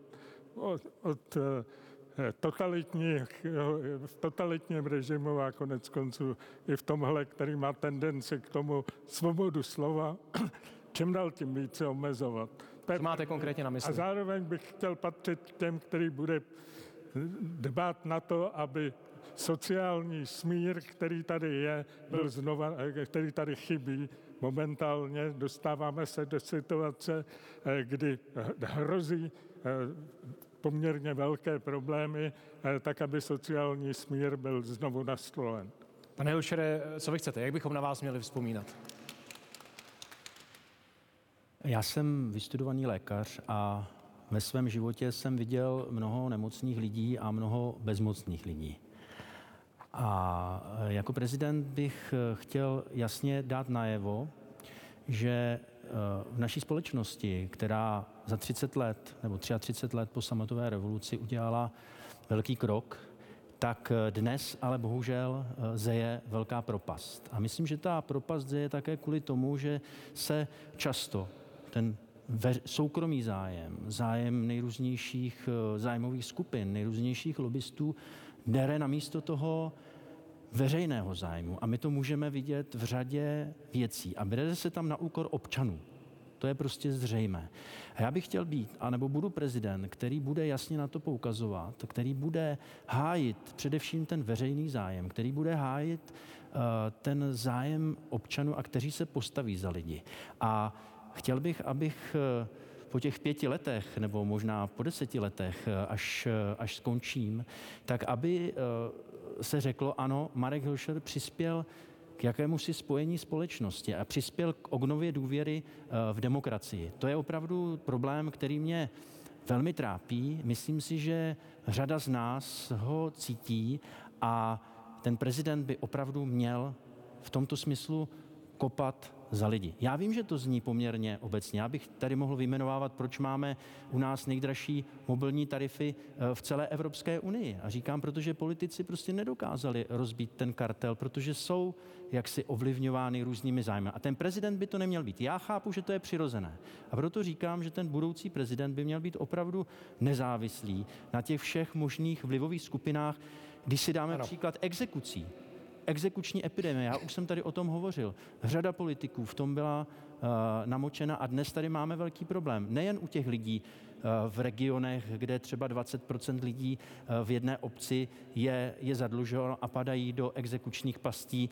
Vidíme, na, vidíme nespravedlnosti v případě, že máme dluh jednu korunu a najednou máme 30 eh, tisíc. Tak kde je ta spravedlnost? A to podrývá důvěru lidí ano. v demokracii jako takovou. A já bych chtěl tyto, tato témata zvedat, nepohne žádný prezident, nepohne země koulí a nezačne se točit na druhou stranu ale myslím si, že by v tomto ohledu neměl mít strach. Pane Helčere, vy jste jasné, chtěl gentlemanskou dohodu, gentlemanskou debatu, aby měřil všem stejně. Se. Proto končím. No, výborně. Pane Fischere, co chcete, aby se s vaším úřadováním ve funkci prezidenta změnilo? Česká republika je v situaci, kdy u nás je realitou pro řadu lidí chudoba. Dva miliony lidí na ně dopadá dneska tíže exekucí a je potřeba připustit, že nejsme jenom zemí individuálních práv a svobod, ale že bychom měli být také zemí solidarity. Nejenom mezi občany, ale také například mezi e, firmami nebo společnostmi, nebo mezi těmi, kteří za těch 30 let dokázali vydělat velké peníze. A z tohohle pohledu se mi zdá, že aby svoboda v naší zemi nebyla jenom prázdné slovo, ale byla skutečnou, tak prezident může udělat hodně jednak jezdit do těch těžce zkoušených regionů, pomáhat s jejich rozvojem, ukazovat, že příspěvek na solární panely je dneska dobrý, ale některým lidem je potřeba nejprve pomoci opravit střechu, aby jim neteklo do domu. A také, že demokracie znamená, že se ubráníme vlivu cizích mocností, například, abychom nebyli stoprocentně závislí na dodávkách plynu ze zemí, které nás nechtějí respektovat. To byl případ Ruska, anebo Číny. Paní Nerudová, co po vás má zůstat, až hra to pustíte? Já bych byla ráda prezidentkou, eh, po které zůstane to, že úspěch v naší zemi není zprosté slovo. Že ti lidé, kteří jsou aktivní a kteří tvoří srdce naší ekonomiky, že si zaslouží, aby jim byly vytvářeny podmínky a aby byli podporováni a nikdo jim neházel klacky pod nohy. Na druhé straně jsem za svou kampaň objela 300 míst v České republice. A dnes v publiku tady uh, sedí uh, lidé, kteří jsou z těch regionů a mají za sebou neuvěřitelně těžké životní příběhy.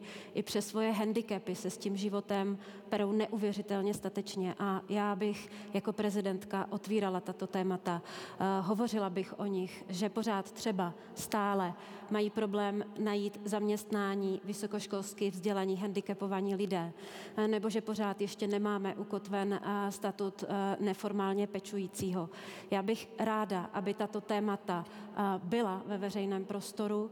Jako prezidentka bych nikoho nenálepkovala. Nenazývala bych člověky nebo lidi s jinými názory, neoznačovala bych je jako nepřátele, což se dlouho, dlouho v naší společnosti dělo. A vysvětlovala bych, že je úplně normální vést kritickou diskuzi ve společnosti, protože kritická diskuze je motorem změn. To bych si velmi přála a jako prezidentka bych eh, otvírala téma eh, rozdílné kvality života v regionech. Je to věc, na kterou jsme tady v této zemi 30 let nesáhli a je na čase, aby se ty nůžky začaly zavírat a proto si myslím, že je potřeba se dívat dál za hranice Brna a Prahy a skutečně je velmi důležité, aby prezident jezdil do regionu a byl blízko lidem a na vlastní oči viděl, že v některých regionech maminky s dětmi musí 50 kilometrů k lékaři, v některých regionech nejsou kvalitní školy, v některých regionech 100 tisíc lidí nemá zubaře. A na těchto všech tématech já bych stavila svoje prezidentství, hovořila bych o nich, komunikovala bych s vládou a snažila se přesvědčit vládu, že je potřeba změnit jednu věc, a to je rozpočtové určení daní v ano. České republice. Děkuji. Já vám děkuji mnohokrát všem za část, za vaši účast této části debaty a na začátku, a myslím, že jsem to slíbil divákům událostí České televize, jsem slíbil, že nebudu sám, kdo se bude ptát. Budu se vás ptát v tuto chvíli eh, osobnosti, nejvyšší ústavní činitelé, budou to lidé, ke kterým, nebo představitelé institucí, ke kterým má prezident nějakým způsobem vztah a budou to také ti, kteří byli bývalými prezidenty vyznamenáni. Já vám teď rozdám osm obálek a poprosím vás, abyste si přečetli, od koho ta otázka je. Zároveň vám nabídnu, abyste si vybrali samozřejmě. Připravili si odpověď a pane Hilšere, asi neprozradím nic mimořádného, když vám řeknu, že budete první potom na řadě. Tak prosím. To je jako maturity, ne, nebo úzký. Ne, nebojte takhle. Ne, to je dobře, to je dobře. Žádné zelené sukno tady děkuju, není. Děkuju. Tak prosím, pane Bašto. Ano, děkuji vám. Pane Fischere, prosím, klidně si můžete otevřít dříve, to je v pořádku. Budete první odpovídat, takže ať je to spravedlivé. Pane Pavle, prosím. Paní Nerudová. Pane Středulo. Děkuji. Tam je o jednu víc, jste říkal 8, jich je 9. Nebojte. Počítáme se všemi eventualitami. Nešlo vyloučit, že se třeba pan Andrej Babiš k naší debatě ještě připojí. A ano, tohle je poslední otázka, která nebude zodpovězená a ji položím sem na stolek, kde měl být Andrej Babiš. Tak pane Hilšere, prosím, abyste přečetl, od koho ta otázka je, zároveň její znění a zodpověděl. Děkuji. Tak já ji přečtu. Měla by česká vláda postupovat stejně jako Maďarsko a neposkytovat Ukrajině vojenskou techniku. A položila ji paní uh, předsedkyně poslanecké sněmovny Markéta Adamová Pekarová, nebo Pekarová Adamová. Uh, nepomáhat Ukrajině v té situaci, které je. Já myslím, že jsme země, která zažila rok 68. Jsme země, která zažila okupaci, která zažila eh, velké ponížení. Zažili jsme rok 1938 a vždycky jsme hleděli k tomu, aby nám v tom našem boji někdo pomohl a zůstali jsme sami.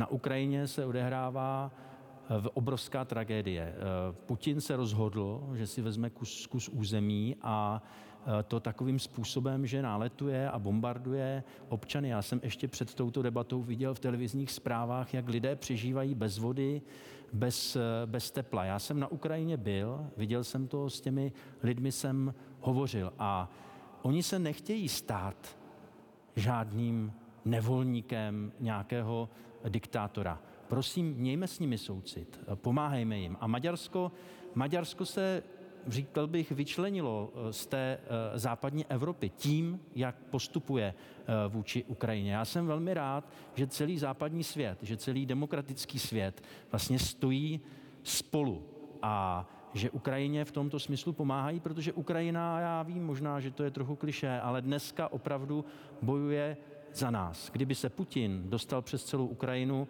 myslím si, že bychom měli ještě velký problém. Já už jsem před ano. osmi lety na to upozorňoval a tak nějak se nám různě lidé posmívali. A dneska máme velký problém. Takže Ukrajina bojuje uh, za naši bezpečnost také a my bychom se měli za ní postavit, protože jsme národ, který uh, mnohokrát nebo několikrát ve své historii potřeboval pomoc silnějších a byli jsme bohužel zrazeni. Takže já vás nezrazujme Ukrajinu. Gentlemansky prosím o to, aby vaše odpovědi byly trochu kratší. Děkuji. Je to pro mě velké téma. Pane Bašto, můžete přečíst, prosím, od koho je ten dotaz a zároveň Jak ho vnímáte odkaz TGM pro dnešní dobu?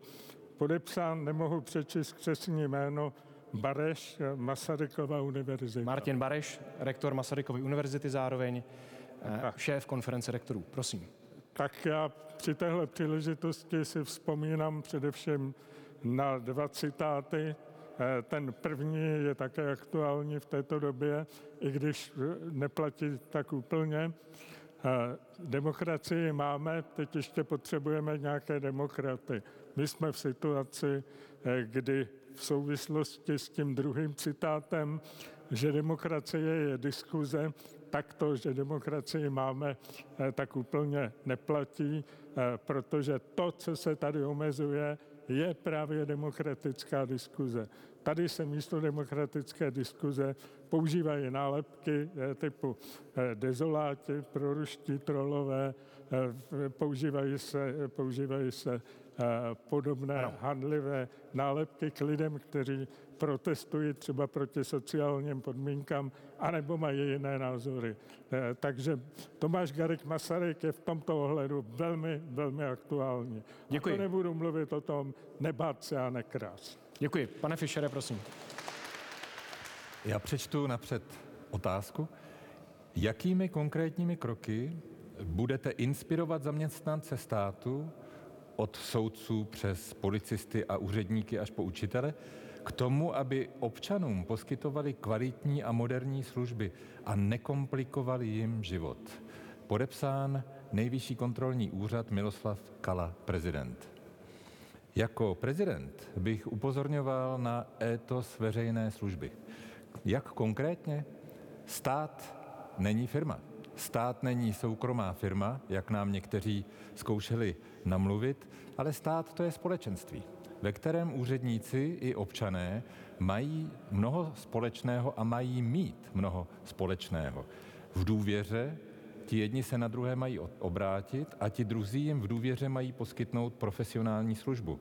To znamená vyhodnotit současnou situaci, kam jsme se dostali, pomáhat úředníkům je motivovat a vlastně jim dát smysl jejich práce, to je vlastně to nejtěžší, co se dneska neděje, co chybí, co nedělá vláda, co by mohl dělat prezident. Například udělat, uspořádat kulatý stůl a začít konečně mluvit o tom, že abychom měli moderní stát, konkurenceschopný stát, potřebujeme mít profesionální státní službu a úředníky, kteří nebudou komplikovat život, protože budou znát smysl své práce. Pane Pavle, prosím. Já jsem dostal otázku od Karla Schwarzenberka. Budete dbát o to, aby česká zahraniční politika obnovila směřování ustanovené Václavem Havlem, že se má obzvláště zasazovat o dodržování lidských práv ve světě? Stále je to oblast či nika, ve které česká zahraniční politika má možnost ještě hodně znamenat. Řeknu ano, ale ne výlučně, protože si myslím, že bychom se měli orientovat e, na vyváženou politiku, která e, bude akcentovat e, lidská práva, hodnoty, ale samozřejmě i náš národní zájem, tedy ta pragmatická kritéria. Jsme od Václava Havla, eh, který akcentoval právě ty, eh, tu hodnotovou politiku, se posunuli přes eh, Václava Klause k Miloši Zemanovi, který veškeré hodnoty degradoval na pragmatický prospěch tím, že nám třeba sliboval 100 miliardové investice z Číny a za cenu toho, že budeme přehlížet cokoliv špatného, co je s Čínou spojeno. Myslím si, že bychom měli opravdu dělat politiku vyváženou, která bude akcentovat jak hodnoty, tak se dívat pragmaticky na to, co Česká republika bude potřebovat. Paní Nerudová, prosím, přečtěte tazatele a zároveň jeho dotaz. Já tedy doufám, že to čtu správně, že to je pan předseda Senátu Miloš Vystrčil, ale nejsem si úplně jistá. Uhodla jste to správně, je to Miloš Vystrčil? Jakou největší chybu jste ve svém profesním životě udělala a vyplynulo z ní pro vás nějaké poučení? Já musím říct, že když jsem začínala na univerzitě, tak jsem si velmi milně myslela, že celou řadu změn eh, jde udělat tak, jen že se vydá nějaké nařízení. A úplně jsem zapomínala na to, že nejdůležitější je, že když se dělá změna, tak se musí komunikovat, vysvětlovat a že je potřeba dosáhnout toho, že lidé chápou, eh, k čemu je ta změna dobrá a co jim ta změna přinese. A po nějakém čase jsem zjistila, že ten život někoho v manažerské funkci může být daleko jednodušší a že těch změn jde realizovat více a rychleji, pokud je pořádně těm lidem vysvětlíte, ukážete jim, co z nich pro ně vyplyne, jaký bude ten benefit a vlastně těch změn dosáhnete společně, společnými silami a ne umělými nařízeními. Koho si vybral Josef Středula? Vylosoval, lépe řečeno. Vylosoval jsem si pana profesora Milana Knížáka a přečtu celý ten, tu otázku i ten komentář k ní. Jak se budete starat o nemovitosti Pražský hrad a zámek a obora v Lánech? Asi všichni známe úpravy Pražského hradu za první republiky. Plečník, Rotmajer, Janák. Přišlo komunistické pustošení, které zvláště na zámku v Lánech zanechalo stopy, pak nešťastná spolupráce Václava Havla s Božským Šípkem naopak pozitivní úpravy zámku Vlánek za Václava Klauze, které si vzala na starost Livie Klauzová. Co se stalo na hradě a zámku za Zemana, nevím.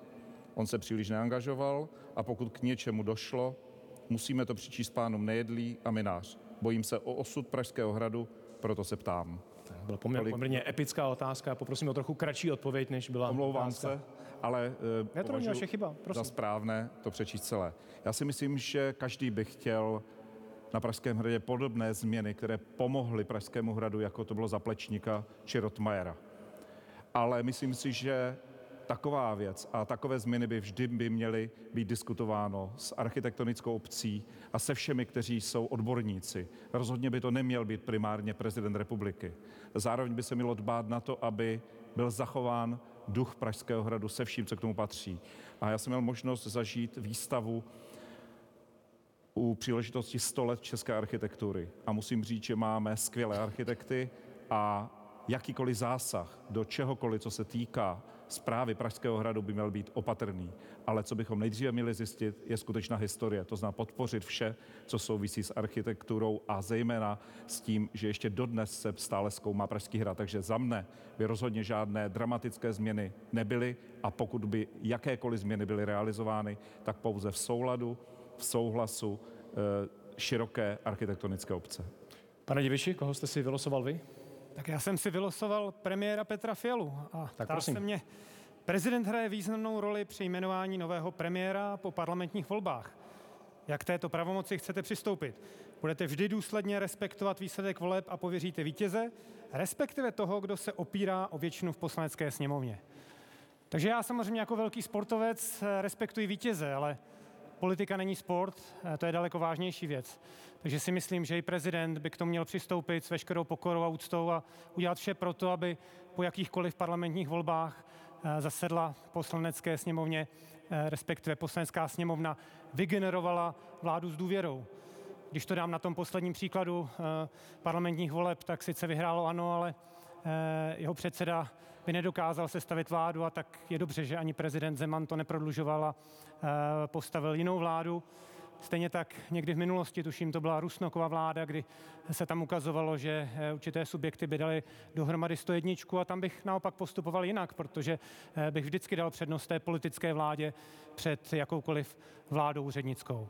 Takže chtěl bych na závěr říct, že prezident by opravdu neměl se snažit hlavně tu ústavu nějak ohýbat k ústavu svému a respektovat, že nejsme prezidentská, ale že jsme parlamentní demokracie. Pane Zimo, koho jste si vylosoval vy, prosím? já jsem si vylosoval Pavla Rycheckého, předsedu ústavního soudu. Souhlasíte s tím, že s Putinem je třeba přestat vyjednávat, ale je třeba na něj vydat mezinárodní zatykač, ustavit zvláštní trestní tribunál a soudit jej před ním po- pro válečné zločiny agrese, genocidy páchané jako zločinným režimem na Ukrajině? Jak jsem zmínil, tak eh, Česká republika eh, je respektována a je silná, pokud postupuje jednotně se spojenci, jako je tomu dosud, takže to je priorita číslo jedna. Druhá otázka je, a o tom se často málo mluví, nejhorší, a nejen mezi státy, ale mezi lidmi, když se přestane vést jakýkoliv dialog a diskuse. Takže tady je třeba na platformě Ukrajina, Rusko, samozřejmě s NATO a s- a NATO čele se Spojenými státy vést nějaká, nějaká jednání s tím, aby byla zachována samozřejmě celistvost Ukrajiny a Ukrajina tam musí hrát klíčovou roli. Prostě jednat na straně druhé se musí a, na, a je třeba vést veškeré kroky, a to jak samozřejmě vojenské, tak diplomatické k tomu, aby se válka nerozšířila dál, aby utrpení lidí co nejdříve skončilo. Já vám děkuji mnohokrát za tuhle tu část debaty. Teď dostanou prostor ti z vás, kteří se v průzkumu volebního potenciálu zaujali na, nebo umístili na prvních třech místech. To ovšem ale neznamená, že vás ostatní z téhleté debaty vylučujeme. V žádném případě eh, dostanete možnost se téhleté dvojice ptát a samozřejmě diskutovat. Podle volebního modelu by první kolo prezidentských voleb vyhrál Petr Pavel s podporou 27,5% hlasů. Druhým v pořadí by byl Andrej Babiš s podporou 26,5% Do druhého kola by podle volebního modelu nepostoupila Danuše Nerudová, jejíž podpora dle průzkumu činí 22% hlasů. S odstupem čtvrtým v pořadí by byl Pavel Fischer s 8% podporou, následovaný Jaroslavem Baštou. Toho by volilo 7% voličů. Na šestém místě je Marek Hilšer s 3,5%, sedmý by skončil Josef Středula s 3% hlasů. Předposlední je Karel Diviš s 1,5% a na posledním místě je Tomáš Zima, který by podle volebního modelu získal 1% hlasů. Pro tutohletu debatu je ale podstatnější volební potenciál jednotlivých kandidátů. Ten ukazuje, kolik by konkrétní kandidát mohl v prezidentských volbách hypoteticky získat, pokud by k němu přiklonili se všichni lidé, kteří jeho volbu zvažují a zároveň, a to je důležitá podmínka, nevylučují svoji účast ve volbách. Nejvyššího potenciálu dosáhl Petr Pavel, jeho volbu zvažuje 38,5% potenciálních voličů. S 34,5% následuje druhá Danuše Nerudová. Třetí nejvyšší potenciál má nepřítomný Andrej Babiš, který má podporu 30,5% potenciálních voličů. Dále se pořadí kandidátů ve srovnání s volebním modelem příliš nemění.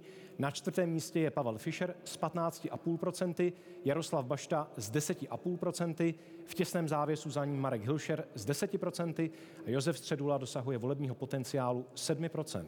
Druhý nejnižší potenciál má Karel Diviš 4,5% a nejméně procent by hypoteticky dle průzkumu mohl získat eh, Tomáš Zima. Jeho potenciál dosahuje hodnoty 3,5%. Ještě jedna technická informace. Průzkum pro českou televizi realizovaly agentury Kantar a Data Collect. Data byla sbírána v období mezi 2. a 5. lednem tohoto roku. Tak, paní Nerudová, eh, pokud něco takového je, jakou největší podpásovku jste zatím od svých hlavních, protikan, hlavních protikandidátů, pardon, pana Pavla nebo pana eh, Babiše v této kampani dosud dostala? Já si myslím, že poslední eh, tři týdny jsou ukázkou toho, že se spochybňuje naprosto vše. K, eh, jednak moje působení na univerzitě a samozřejmě se spochybňuje i moje profesní práce. Já bych chtěla říct, že předpokládám, že ten další týden, eh, kdy se situace ještě vyostří, eh, takže bude samozřejmě ještě komplikovanější, ale já dál povedu pozitivní kampaň a nebudu se negativně vymezovat a nebudu kydat hnůj na ostatní kandidáty. Já totiž nekandiduji proti, já kandiduji pro lidi naší země a nabízím pozitivní program a nabízím vizi, jak by naše společnost měla po pěti letech mého působení vypadat. Paní Nedrová, je tohle to skutečně ale potásovka? Není to jenom reakce některých nebo nespokojenost na způsob toho, jak jste vysvětlovala své kauzy, své škralupy na Mendlově univerzitě? A může se to zdát, a mě velmi mrzí, že velmi šikovní kolegové a šikovní studenti na fakultě vlastně trpí politickou kampaní. Když budujete uh, otevřenou instituci 21. století a začínáte s poměrně konzervativní univerzitou, samozřejmě, že na té cestě děláte dílčí chyby, uh, ale ty chyby nebyly nikdy zásadní. A myslím si, že kvůli tomu, že 20 studentů dostudovalo o pár měsíců dřív a nebylo to o rok, ale o pár měsíců, tak, tak je velmi smutné, že na celou univerzitu padá negativní stín mě velmi Není to mrzí. vaše zodpovědnost, paní Nerudová? Vy jste tu univerzitu vedla. Vy sice říkáte, že rektor není manažer, když se vám to hodí, zároveň také říkáte a píšníte se s tím, že jste tuto univerzitu vedla, že jste schopná vést velký kolektiv. Tak a není to vaše chyba? Univerzitu jsem eh, vedla, ale univerzita má jednotlivé fakulty a na těch fakultách působí děkany, které si eh, rektor nevybírá. Ty děkany volí eh, akademický senát. A já bych chtěla říct, že samozřejmě jsem mohla v tom v řešení celé záležitosti postupovat rychleji a svolat mimořádné, mimořádné zasedání o tři týdny dříve, ale na povaze toho problému by to asi vůbec nic nezměnilo. Pane Pavle, co vy považujete za největší nefér jednání od případně Danuše Nerudové nebo Andreje Babiše? Já si myslím, že každý, kdo eh, jde do eh, politické kampaně, tak musí počítat s tím, že eh, bude konfrontován s různými názory i s těmi nesouhlasnými. Já zatím s tím, co jsem se, s čím jsem se setkal ze strany Danuše Nerudové nebo Andreje Babiše, tak bylo v mezích toho, co považuji přijatelné v kampani a nevidím důvod, proč bych to měl považovat za podpásové údery. Je něco, co podle vašeho názoru diskvalifikuje Andreje Babiše nebo Danuši Nerudovou z uchazečství o úřad prezidenta? No, ne, asi úplně diskvalifikuje, i když v případě Andreje Babiše uvidíme zítřejší rozhodnutí e, soudu. Pokud jde o Danuši Nerodovou, tak já, já jsem říkal, že to, co vidím jako nedostatek pro tuto funkci, je nedostatečná zkušenost, která je omezená pouze na akademickou obec. A možná také schopnost postavit se za svoji zodpovědnost, za to, co jsem v životě dělal a za co jsem měl nést odpovědnost. To jsou dvě výhrady, ale nejsou nijak zásadní, které bych považoval za diskvalifikující. Paní Nerová, něco, co vidíte jako diskvalifikující na osobě Andreje Babiše nebo Petra Pavla? Já se domnívám, že ehm, Andrej Babiš eh, podle toho rozsudku eh, zítra, eh, který padne v případě, že pro něj nebude pozitivní, takže by měl zvážit, jestli bude skutečně kandidovat na prezidenta České republiky a jestli Případně nás... jakéhokoliv rozsudku, chápu to správně? No, pokud, bude, pokud to obvinění bude potvrzeno a jestli vystaví naši společnost té naprosto bezprecedentní situaci, kdy bude kandidovat prezident, který byť nepravomocně bude odsouzený. A co se týká pana Pavla, tak já musím říct, že byť mám výhrady, které jsou součástí veřejného prostoru, tak si jeho práce pro Českou republiku za posledních 30 let velmi vážím. Vy jste zmínila jenom technická věc, obvinění v případě Andreje Babiše. Předpokládám, že se to asi myslela obecně, protože on je obžalován a stojí před ano, soudem, kde zítra by měl ano. být vyřknut eh, rozsudek. Ale všichni dostanete prostor za chvilku na otázky, prosím, jenom setrvejte s námi.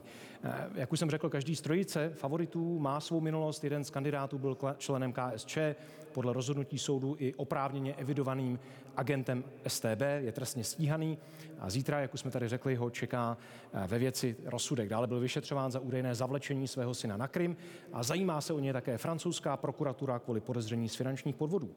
Další z kandidátů má rovněž minulost v totalitní komunistické straně a aspiroval na rozvědčíka vojenského spravodajství. No a třetí z kandidátů vedl univerzitu, která čelí podezření z prodeje akademických titulů a z plagiátorství. A proto jsme se vás chtěli zeptat. Pane Pavle, když budete prezidentem, jmenoval byste náčelníkem generálního štábu člověka, který má komunistickou minulost? Já musím říct, že eh, členství v komunistické straně před rokem 1989 bychom eh, neměli eh, považovat a priori jako diskvalifikující, protože máme celou řadu příkladů lidí, kteří sice si takzvaně v bývalém režimu zadali, na druhou stranu dnes jsou velice respektovanými nejenom odborníky, ale také lidmi s celkově uznávanou lidskou integritou. Já bych se opravdu díval především na to, co této zemi mohou nabídnout, jak se chovali v posledních 33 letech a jestli jejich kvality jsou dostatečné pro to, abych je mohl jmenovat. To znamená, že ano. Ano. Pokud by byly podmínky splněny, jak říkáte, tak ano. Ano. Nejsme už v situaci, kdyby měli být do těchto funkcí jmenováni ti, kteří nemají zkušenost přímou s komunistickým režimem tak, že by mu sloužili? Já si opravdu myslím, že členství v komunistické straně, ať už bylo motivováno čímkoliv, pokud nevyústilo v žádný trestný čin nebo morálně odsouzení hodný čin, pak by nemělo být diskvalifikací. Skutečně bych posuzoval jejich historii jako celek, ne jako její výseč. Paní Nerudová, vaše reakce? Jmenovala byste náčelníkem generálního štábu člověka, který má komunistickou minulost? Když dovolíte, já se na začátek musím ohradit, eh, protože eh, univerzita žádné tituly neprodávala. A uh, nikoho, kdo by měl komunistickou minulost, bych do této funkce nejmenovala. Jmenoval byste, pane Pavle, do nejvyšších soudních funkcí, protože součástí pravomocí prezidenta je jmenování, navrhování některých soudců, někoho, kdo má komunistickou minulost? Přistupoval byste v oblasti soudní k tomu úplně stejně jako v oblasti armády? Úplně stejně, ano. Paní Nerudová? Já bych byla na velkých pochybách, protože si myslím, že po 30 letech uh, už mezi námi máme uh, zdatné experty, kteří komunistickou minulost nemají. Tak pojďme zůstat ještě u vás, paní Nerudová. Mluvil jsem o tom, že existuje podezření, nikoliv, že to tak přesně bylo. Samozřejmě tohle to bude ještě předmětem dalšího šetření. Ale jmenovala byste vy rektorem člověka, kterému se vytýkalo, že se u něj na škole, kde působí, kšeftuje, když to řeknu velmi lapidárně, s diplomy? Já se domnívám, že akademický senát univerzity by takového rektora eh, nezvolil, nicméně eh, v roli prezidentky bych respektovala vůli akademického senátu a stejně tak bych respektovala i jmenování profesorů, eh, protože jsme zažívali situace, kdy pan prezident Zeman odmítal jmenovat prezidenty, které schválila vědecká rada fakulty a univerzity a já si myslím, že v tomto případě je prezident ten, který skutečně má už podepsat, protože ten člověk byl dostatečně prověřen akademickou sférou. Znamená, že kdybyste měla u kohokoliv jakoukoliv pochybnost, nechala byste to být, protože funkce prezidenta v tomhle není spochybňovat, ale jmenovat. Chápu to správně? Přesně tak. Pojďme se vrátit ale k tomu vašemu případu ještě, který je velmi komplikovaný. Předesílám, že to je velmi komplikované, ale to, že diplomy cizincům zprostředkovává na veřejné škole agentura, je podle vás správná a běžná praxe? Já si nemyslím, že to je správná praxe, proto také, když jsem se o této situaci dozvěděla, že takovéto smlouvy byly podepsány, tak jsem poprosila děkana, aby tyto smlouvy vypověděl. Zároveň, aby nebylo žádných pochyb, jsem provedla finanční audit na univerzitě, v jehož rámci jsem zjistila, že studenti platí řádně školné podle toho, jak stanovují interní předpisy univerzity. Vy jste zmínila to, že připouštíte, že jste mohla reagovat rychleji. Řekla jste to i před chvílí. Nicméně nepřijde vám tohle jako fatální chyba po té, co Česko má zkušenosti například s plzeňskými právy? Neměla jste být citlivější v těch věcech, reagovat i hned, nečekat? Já si myslím, že v tomto případě nejde dělat paralelu s plzeňskými právy, protože, protože v té situaci studenti studovali velmi krátkou dobu, například rok, a to není případ Mendlovy univerzity. Také si vzpomínám, že tehdy, tu, tehdy se opravdu řešily naprosto fatální věci, že nebyly splněny studijní podmínky. Studenti na této fakultě, na Mendlově univerzitě, splnili studijní podmínky, což je eh, výrazným rozdílem. Pane Pavle, stejná otázka na vás. Jmenoval byste rektorem člověka, eh, u jehož eh, jména panuje podezření, že se v náš škole, kde třeba působil dříve, nějakým způsobem obchodovalo s diplomy, případně jiné podezření, které se váže k Mendlově univerzitě? Já bych asi dříve chtěl mít jasno, jestli se ta podezření nějak prokážou nebo ne, a potom bych se rozhodl. A to jasno byste si udělal jak? Teď probíhá vyšetřování, my se máme dozvědět eh, zprávu, myslím, že to je 19. ledna, jestli se nepletu, tak eh, bych určitě počkal. S tím jmenováním eh, rektora se jistě dá počkat. A co se týče profesorů, jmenování profesorů, dělal byste si u každého také nějaké šetření, nebo byste důvěřoval těm, kteří je navrhují? Pokud jde o profesury, což samozřejmě není můj obor, ale myslím si, že my jsme jednou z mála zemí v Evropě, kde profesory jmenuje prezident a dovedu si představit, že by to mělo být tak, že způsobilost lidí získat titul profesora bude posuzovaná spíš akademickou obcí a vědeckou podle jasně, jasně daných kritérií. A pokud adepti projdou tímto sítem, tak prezident by už neměl do toho zasahovat. Já si dovedu představit, že v tomto případě ty návrhy bych schvaloval bez toho, aniž bych do toho jakkoliv zasahoval. Tak pojďme do té debaty zase zapojit vás ostatní, kteří jste v tuto chvíli nemluvili. Začneme tady vlevo a prosím formulujte svůj komentář nejlépe jako otázku. Pane Hilšere. Ano, děkuji. Já myslím, že všichni dobře víme, že každá kampaň, anebo žádná kampaň není procházka růžovou zahradou a že je někdy těžké rozlišovat mezi fakty a mezi lží. Uh, takže uh, hovořit o tom, že někdo vrhá hnojomety a to, je potřeba opravdu vážně studovat to, co za kandidáty je, to, jaký kandidáti byli v minulosti. Někdy máme také možná tendenci pohléhat příliš eh, tomu politickému marketingu za velké peníze. Já už jsem před pěti lety vlastně kandidoval z toho důvodu, protože jsem chtěl ukázat, že i obyčejný běžný občan otázku, může nastoupit. Ano, to je velmi důležité pro demokracii. Takže já uh, se tady necítím být v roli uh, moderátora, uh, protože si myslím... Je jenom o reakci takže, a ano, otázku, pokud Já máte. se tady necítím být v roli moderátora, protože si myslím, že není dobré rozdělovat prezidentskou debatu na ty, co podle volebních průzkumů mají hodně a na ty, co mají málo, protože to, uh, řekl bych, neodpovídá rovnému právu právu a myslím, Tohle není to i neúcta, rozdělování té debaty. Ne, neúcta, to je má poznámka. Chcete položit Takže otázku, já se svého práva na, eh, na otázku zříkám v, v tomto ohledu. Děkuji. Pane Bašto. Pane Bašto, chcete položit já? těm tématům, která jsem zde zmínil, otázku panu Pavlovi, paní Nerudové? Chci se vyjádřit podobně jako pan senátor. A víte, volby rozhodují voliči, nikoliv agentury pro výzkum veřejného mínění. Není možné se odvolávat na údajné průzkumy veřejného mínění, které jsou nepřeskoumatelné a snadno sfalšovatelné. Navíc první byly oznámeny ještě předtím, než bylo rozhodnuto o tom, kdo splnil podmínky kandidatury a ještě předtím, než se kandidáti mohli veřejně vyslovit. Eh, takže považuji tento postup, který eh, takhle ty, nás už průběhu celé té kampaně rozdělil, za jistý typ segregace takové, která když se bývala, kdy byli ti, kteří si mohli Pane Bašto, chcete položit otázku do nebo ne? Sedadel v autobuse do prvních řad a jiní, kteří měli být vzadu. Nebo ti, kteří měli jezdit na plošině tramvaje a nesměli se... Děkuji. Možná k tomu jeden komentář od ode mě jako moderátora téhleté debaty. V žádném případě se, pane Bašto, dovolte, abych dokončil svou myšlenku, nejedná o žádnou segregaci.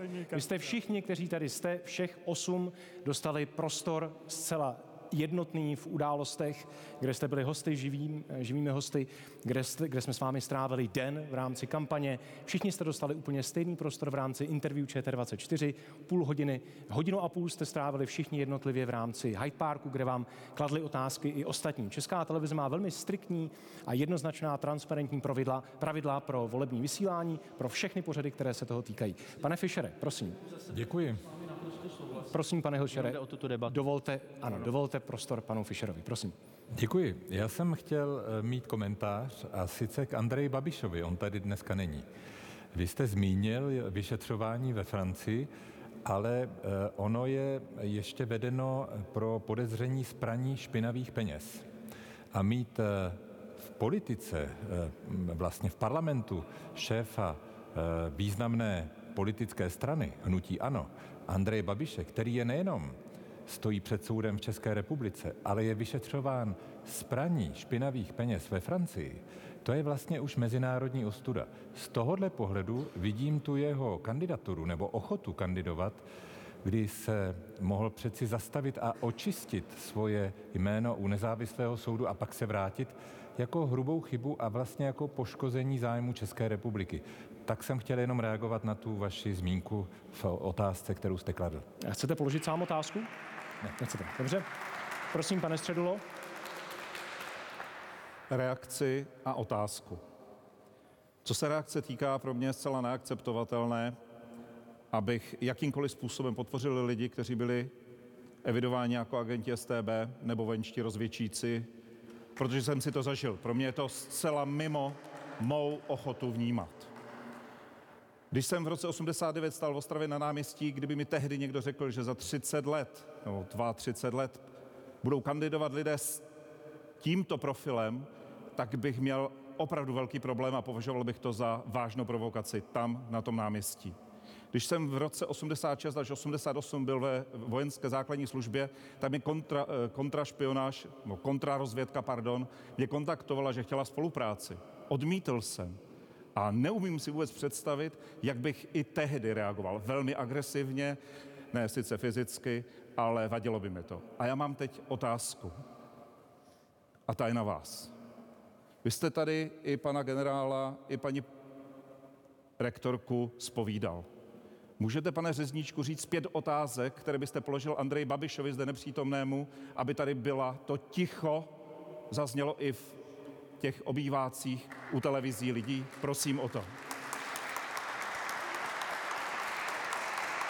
Pane Středulo, já už jsem na začátku hovořil o tom, že zde Andrej Babiš není. Vy máte všichni právo se k Andreji Babiši, Babišovi vyjádřit, také tak činíte, já to oceňuji. Nicméně otázky, které jsme měli připravené na Andrej Babiše, vzhledem k tomu, že tady není logicky pokládat nebudeme.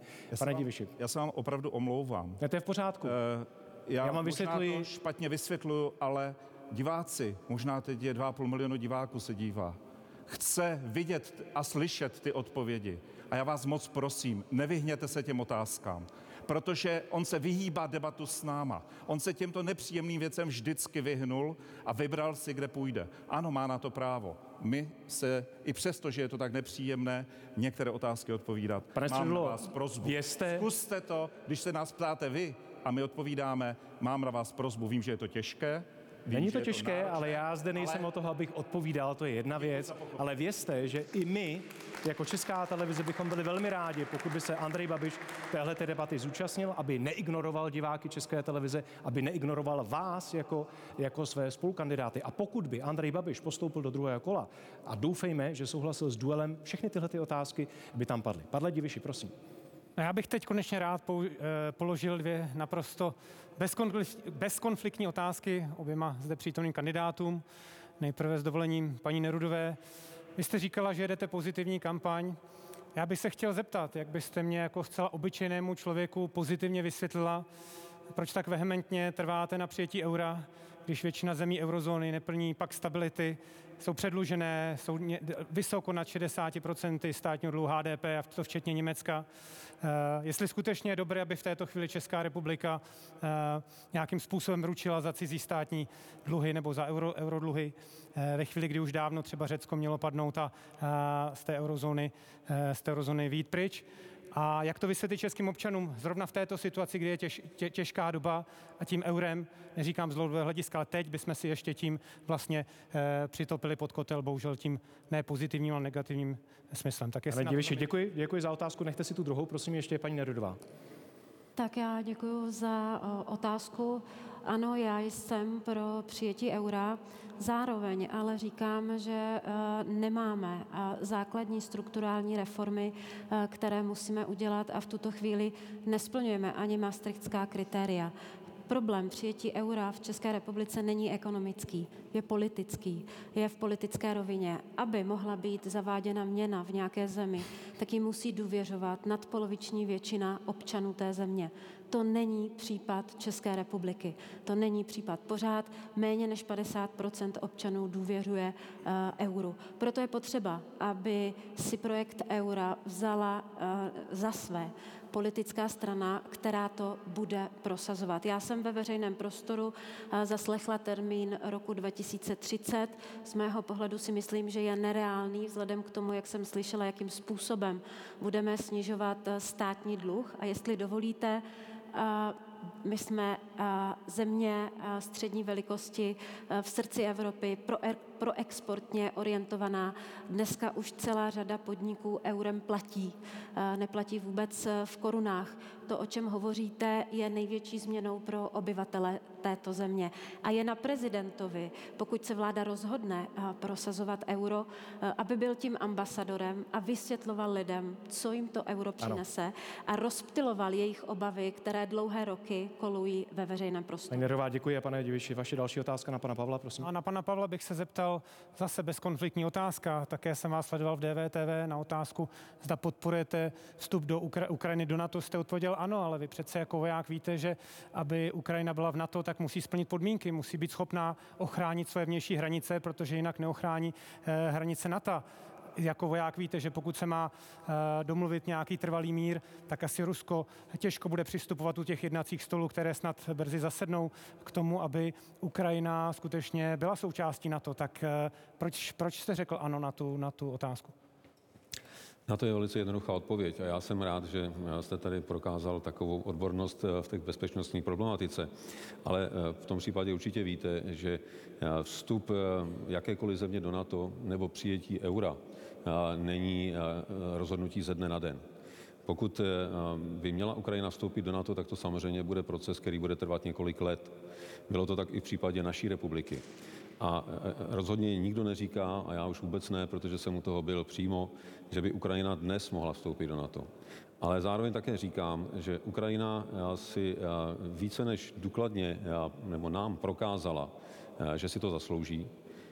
Navíc z čistě pragmatického pohledu v okamžiku, kdy válka skončí, ukrajinská armáda bude tou nejzkušenější armádou na světě protože žádná jiná armáda nevedla tak intenzivní boj v současnosti.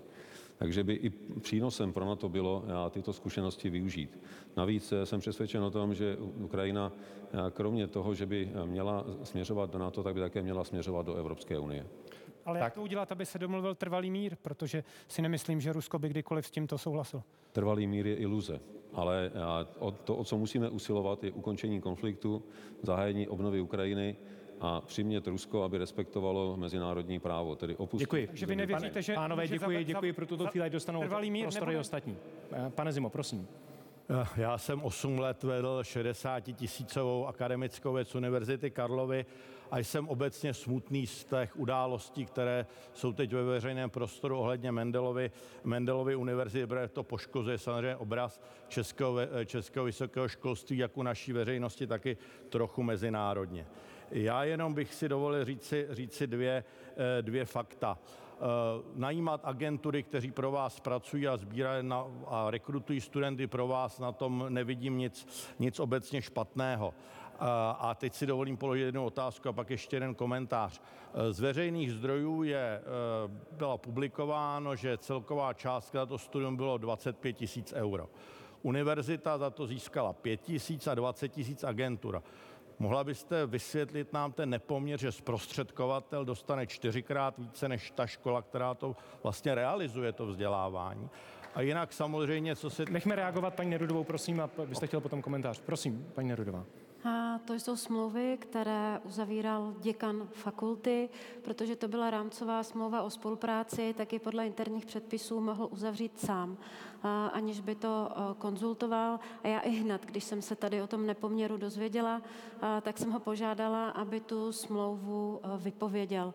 Udělala jsem finanční audit, který na straně univerzity nic neodhalil a, myslím si, že pokud že to je maximum, co v té chvíli eh, spadalo do pravomoce rektora, že další žádné, a, a, žádné věci související s tou smlouvou, s uzavřením smlouvy jsem eh, nad rámec univerzity už eh, provádět nemohla. Pane Zimo, vy jste chtěl ještě krátký komentář. Já si jenom dovolím komentář, ten nepoměr je jaksi, že někdo dostane za zprostředkání čtyřikrát víc než ta instituce, která to realizuje, je tedy velmi, velmi podivný. E, ta kauza je asi rok a půl, jestli si uvědomuji, tak jenom z hlediska faktu podle paragrafu 28 odstavec 4 vysokoškolského zákona rektor může iniciovat odvolání děkana, pokud poškozuje dobré jméno školy. Tak pojďme eh, dál, možná trošku změnit tempo. V Česku žijí stovky tisíc lidí se sluchovým nebo zrakovým postižením. Je to velká skupina lidí, která chce také odpovědně volit hlavu státu. Prezident, předpokládám, by měl umět hovořit i k ním. Já jsem se oslovil Jaroslava Švagra, tlumočníka do znakové řeči, a zeptal jsem se ho, jaké jsou eh, znaky pro dosavadní tři české prezidenty. Prosím. tak eh, Václav Havel měl takovýto znak podle gesta, který často používal symbolu revoluce. Václav Klaus, knír a Miloš Zeman, takto. Ona to vlastně znamená zem, ale současně byl slavn, byla slavná osobnost historie neslyšících, jakýsi Josef Zeman, ten se taky takhle ukazoval, takže Miloš Zeman to vlastně zdědil, ten znak. Z volebních průzkumů v tuto chvíli vychází, že největší šance usednout na Pražském hradě má trojice Danuše Nerudová, Petr Pavel, Andrej Babiš. Předpokládám, že pro pana Babiše už existuje nějaký znak, ale co třeba Petr Pavel a Neruše Nerudová, jak se budou označit? Ano, eh, Andrej Babiš má takovýhle znak, ona to vlastně znamená babička a někdo k tomu přidává ještě takhle hlásku š, aby to odlišil Babiš. A Danuše Nerudová zatím pevný znak nemá. Já jsem si zatím všiml, že občas někdo eh, použije, aby si pomohl tento znak, což je vlastně barva červená nebo taky rudá, je podle toho vlastně té prostřední slabiky. A Petr Pavel, tam je to nejjednodušší, to jsou biblická jména, ty my už vymysleli je ptišky za první republiky. Petr Pavel. Tak, pane Pavle, i k lidem s postižením budete muset eh, promlouvat. Jak byste se teď před volbami popsal nevidomému? Nevidomému.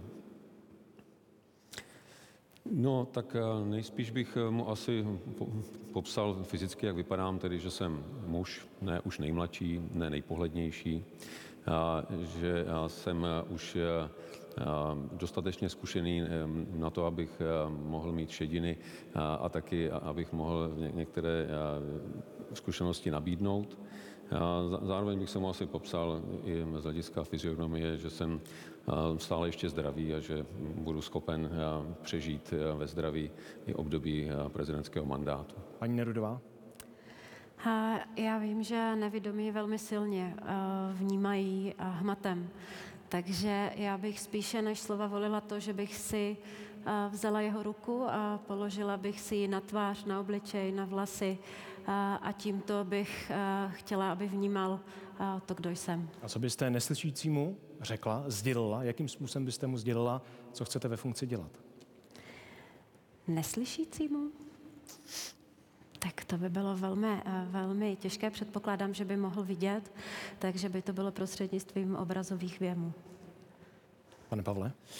No, tam by to asi bylo na jednu stranu jednodušší, protože mě vidí, takže bych se mu nemusel popisovat, ale asi bych se mu snažil eh, spíš eh, popsat eh, to, co bych mu chtěl nabídnout, takže bych mu asi ukázal, že on a já můžeme držet pohromadě. A pak bych ho pozval, že si ho vezmu pod křídlo, tedy ochráním a že může jít se mnou bezpečně kupředu. Můžete jenom velmi stručně říci, jak byste, co byste dělali pro lidi, například neslyšící, aby, to ne, aby nebyli vnímáni jako lidé s postižením, ale jako součást své bytné komunity. Paní Nerudová, prosím stručně, pak pan Pavel. Já si myslím, že je potřeba je skutečně brát jako součást naší společnosti a uspůsobovat tomu jejich handicapu veškeré věci, které děláme. Takže já jsem velmi ráda, že třeba já můžu, můžu přispívat k tomu, že budou překladatelé do znakové řeči u, u všech projevů. Jsem ráda, že byli překladatelé do znakové řeči u diskuze prvních dám. Myslím, že to, že to bylo výborné, že i, i neslyšící vlastně mohli eh, vnímat. A já myslím, Jsou i u této debaty. Já, já myslím, že by se to mělo stát obecnou kulturou v naší společnosti, vlastně běžnou součástí, něco, s čím automaticky počítáme. Pane Pavle, prosím. Já si myslím, že jsme v této věci už udělali podstatný krok um, ku předu a že nejenom lidem neslyšícím a nevidomým, ale i lidem s různou mírou postižení už uh, uh, jdeme naproti uh, v tom, aby se mohli plnohodnotněji účastnit veškerého života. Samozřejmě, že stále je co zlepšovat a určitě bych se podíval na to, v čem ještě jim můžeme jít, jít naproti. Za chvíli ve čtvrtek 12. ledna tradičně v předvečer voleb. Vy jste v ní potvrdili účast, vaše týmy, dokonce písemně slíbili, že přijdete. Pak nám ale vaše týmy sdělili, že si váš protikandidát Andrej Babiš domluvil debatu na jiné televizi a tedy, že porušíte slib, který jste dali zprostředkovaně divákům České televize. Stále od vás, od obou máme potvrzenou účast v debatě veřejnoprávní televize v případě, že se dostanete do druhého kola. Tahle debata se bude konat ve čtvrtek v předvečer voleb 26. ledna. Máme počítat s vaší účastí v případě, že se dostanete do druhého kola, nebo tenhle ten slib také porušíte? Paní Nerudová. A pokud postoupím do druhého kola, tak se mnou můžete určitě počítat. Pane Pavle? Ano. Můžeme s vámi počítat? Ano. Děkuji. Děkuji všem za účast v této debatě. Ještě předtím, než se rozloučíme, máte všichni prostor na 30 sekund oslovit diváky a své potenciální voliče. Pane Zimo, začneme u vás, prosím. Úspěšná země se pozná podle toho, jak se žije běžnému člověku. Jak je dobrá, dostupná zdravotní péče, kvalitní vzdělávání, eh, bezpečnost. Vím, že řada lidí má strach, setká se s tím jako lékař.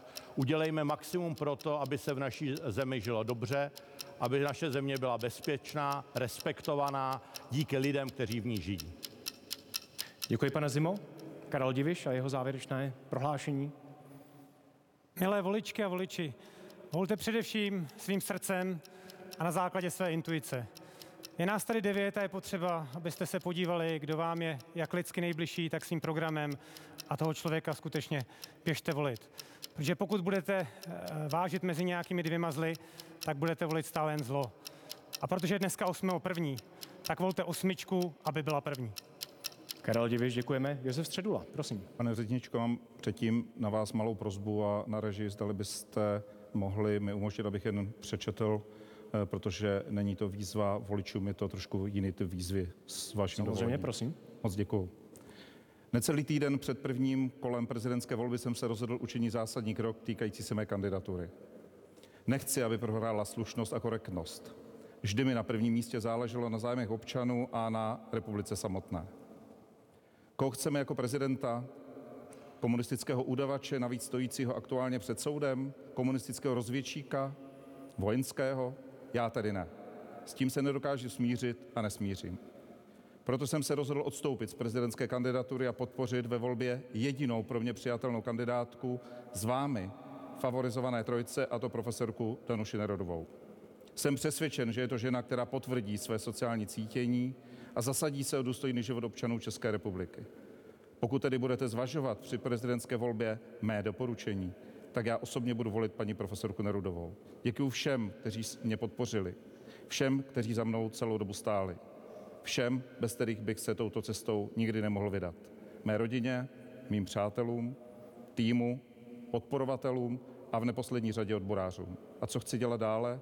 Slibuji vám, že budu s ještě větší vervou bojovat za důstojný život lidí a firem, tak, jak tomu ostatně neúnavně dělám již 30 let. Děkuji za prostor. Pane Středolo, my děkujeme za tohleto vaše prohlášení, za zásadní zprávu. Děkujeme. Děkuji. Paní Nerudová, další 30 sekund je vašich, prosím. Milí voliči, pokud chcete, abychom měli zemi, kde se bude žít dobře každému, kde budeme chápat, že potřebujeme podporovat ty aktivní, kteří tvoří srdce naší ekonomiky, ale zároveň budeme rozumět, že musíme podporovat ty slabší, kteří v životě neměli takové štěstí. Budu ráda, když mě budete volit. Zasadím se o to, abychom byli zemí, kde má každý šanci na úspěch, bez rozdílu toho, kde žije, kým je nebo koho miluje. Pan Helšer a jeho závěrečný vzkaz voličům, prosím. Vážení spolupčané, milé dámy, milé pánové, já nebudu mluvit dlouho.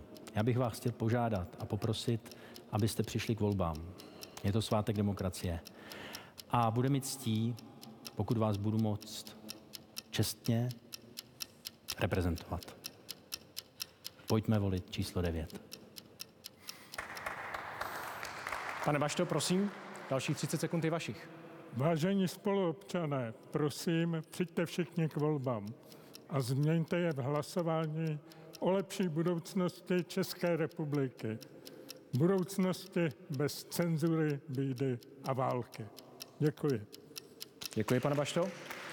Pan Fischer. Vážení a milí spoluobčané, máte možnost promluvit do budoucnosti naší země a do toho, kdo bude prezidentem České republiky. 30 let pracuji pro stát, nejsem závislý na nějakém biznise nebo na nějaké politické straně a nabízím svoje zkušenosti, abych od první minuty na hradě se nemusel rozkoukávat, ale mohl okamžitě pracovat. Budu pracovat pro vás, pro vaši bezpečnost a pro vaši budoucnost. Nebojte se hlasovat podle svého svědomí, volte jedničku, neuděláte chybu. Připomínám, že do dnešní debaty byl pozván i kandidát číslo 7 Andrej Babiš. Je to prostor, do kterého nechceme nějak vstupovat, to znamená, že následující sekundy jsou tichem Andreje Babiše.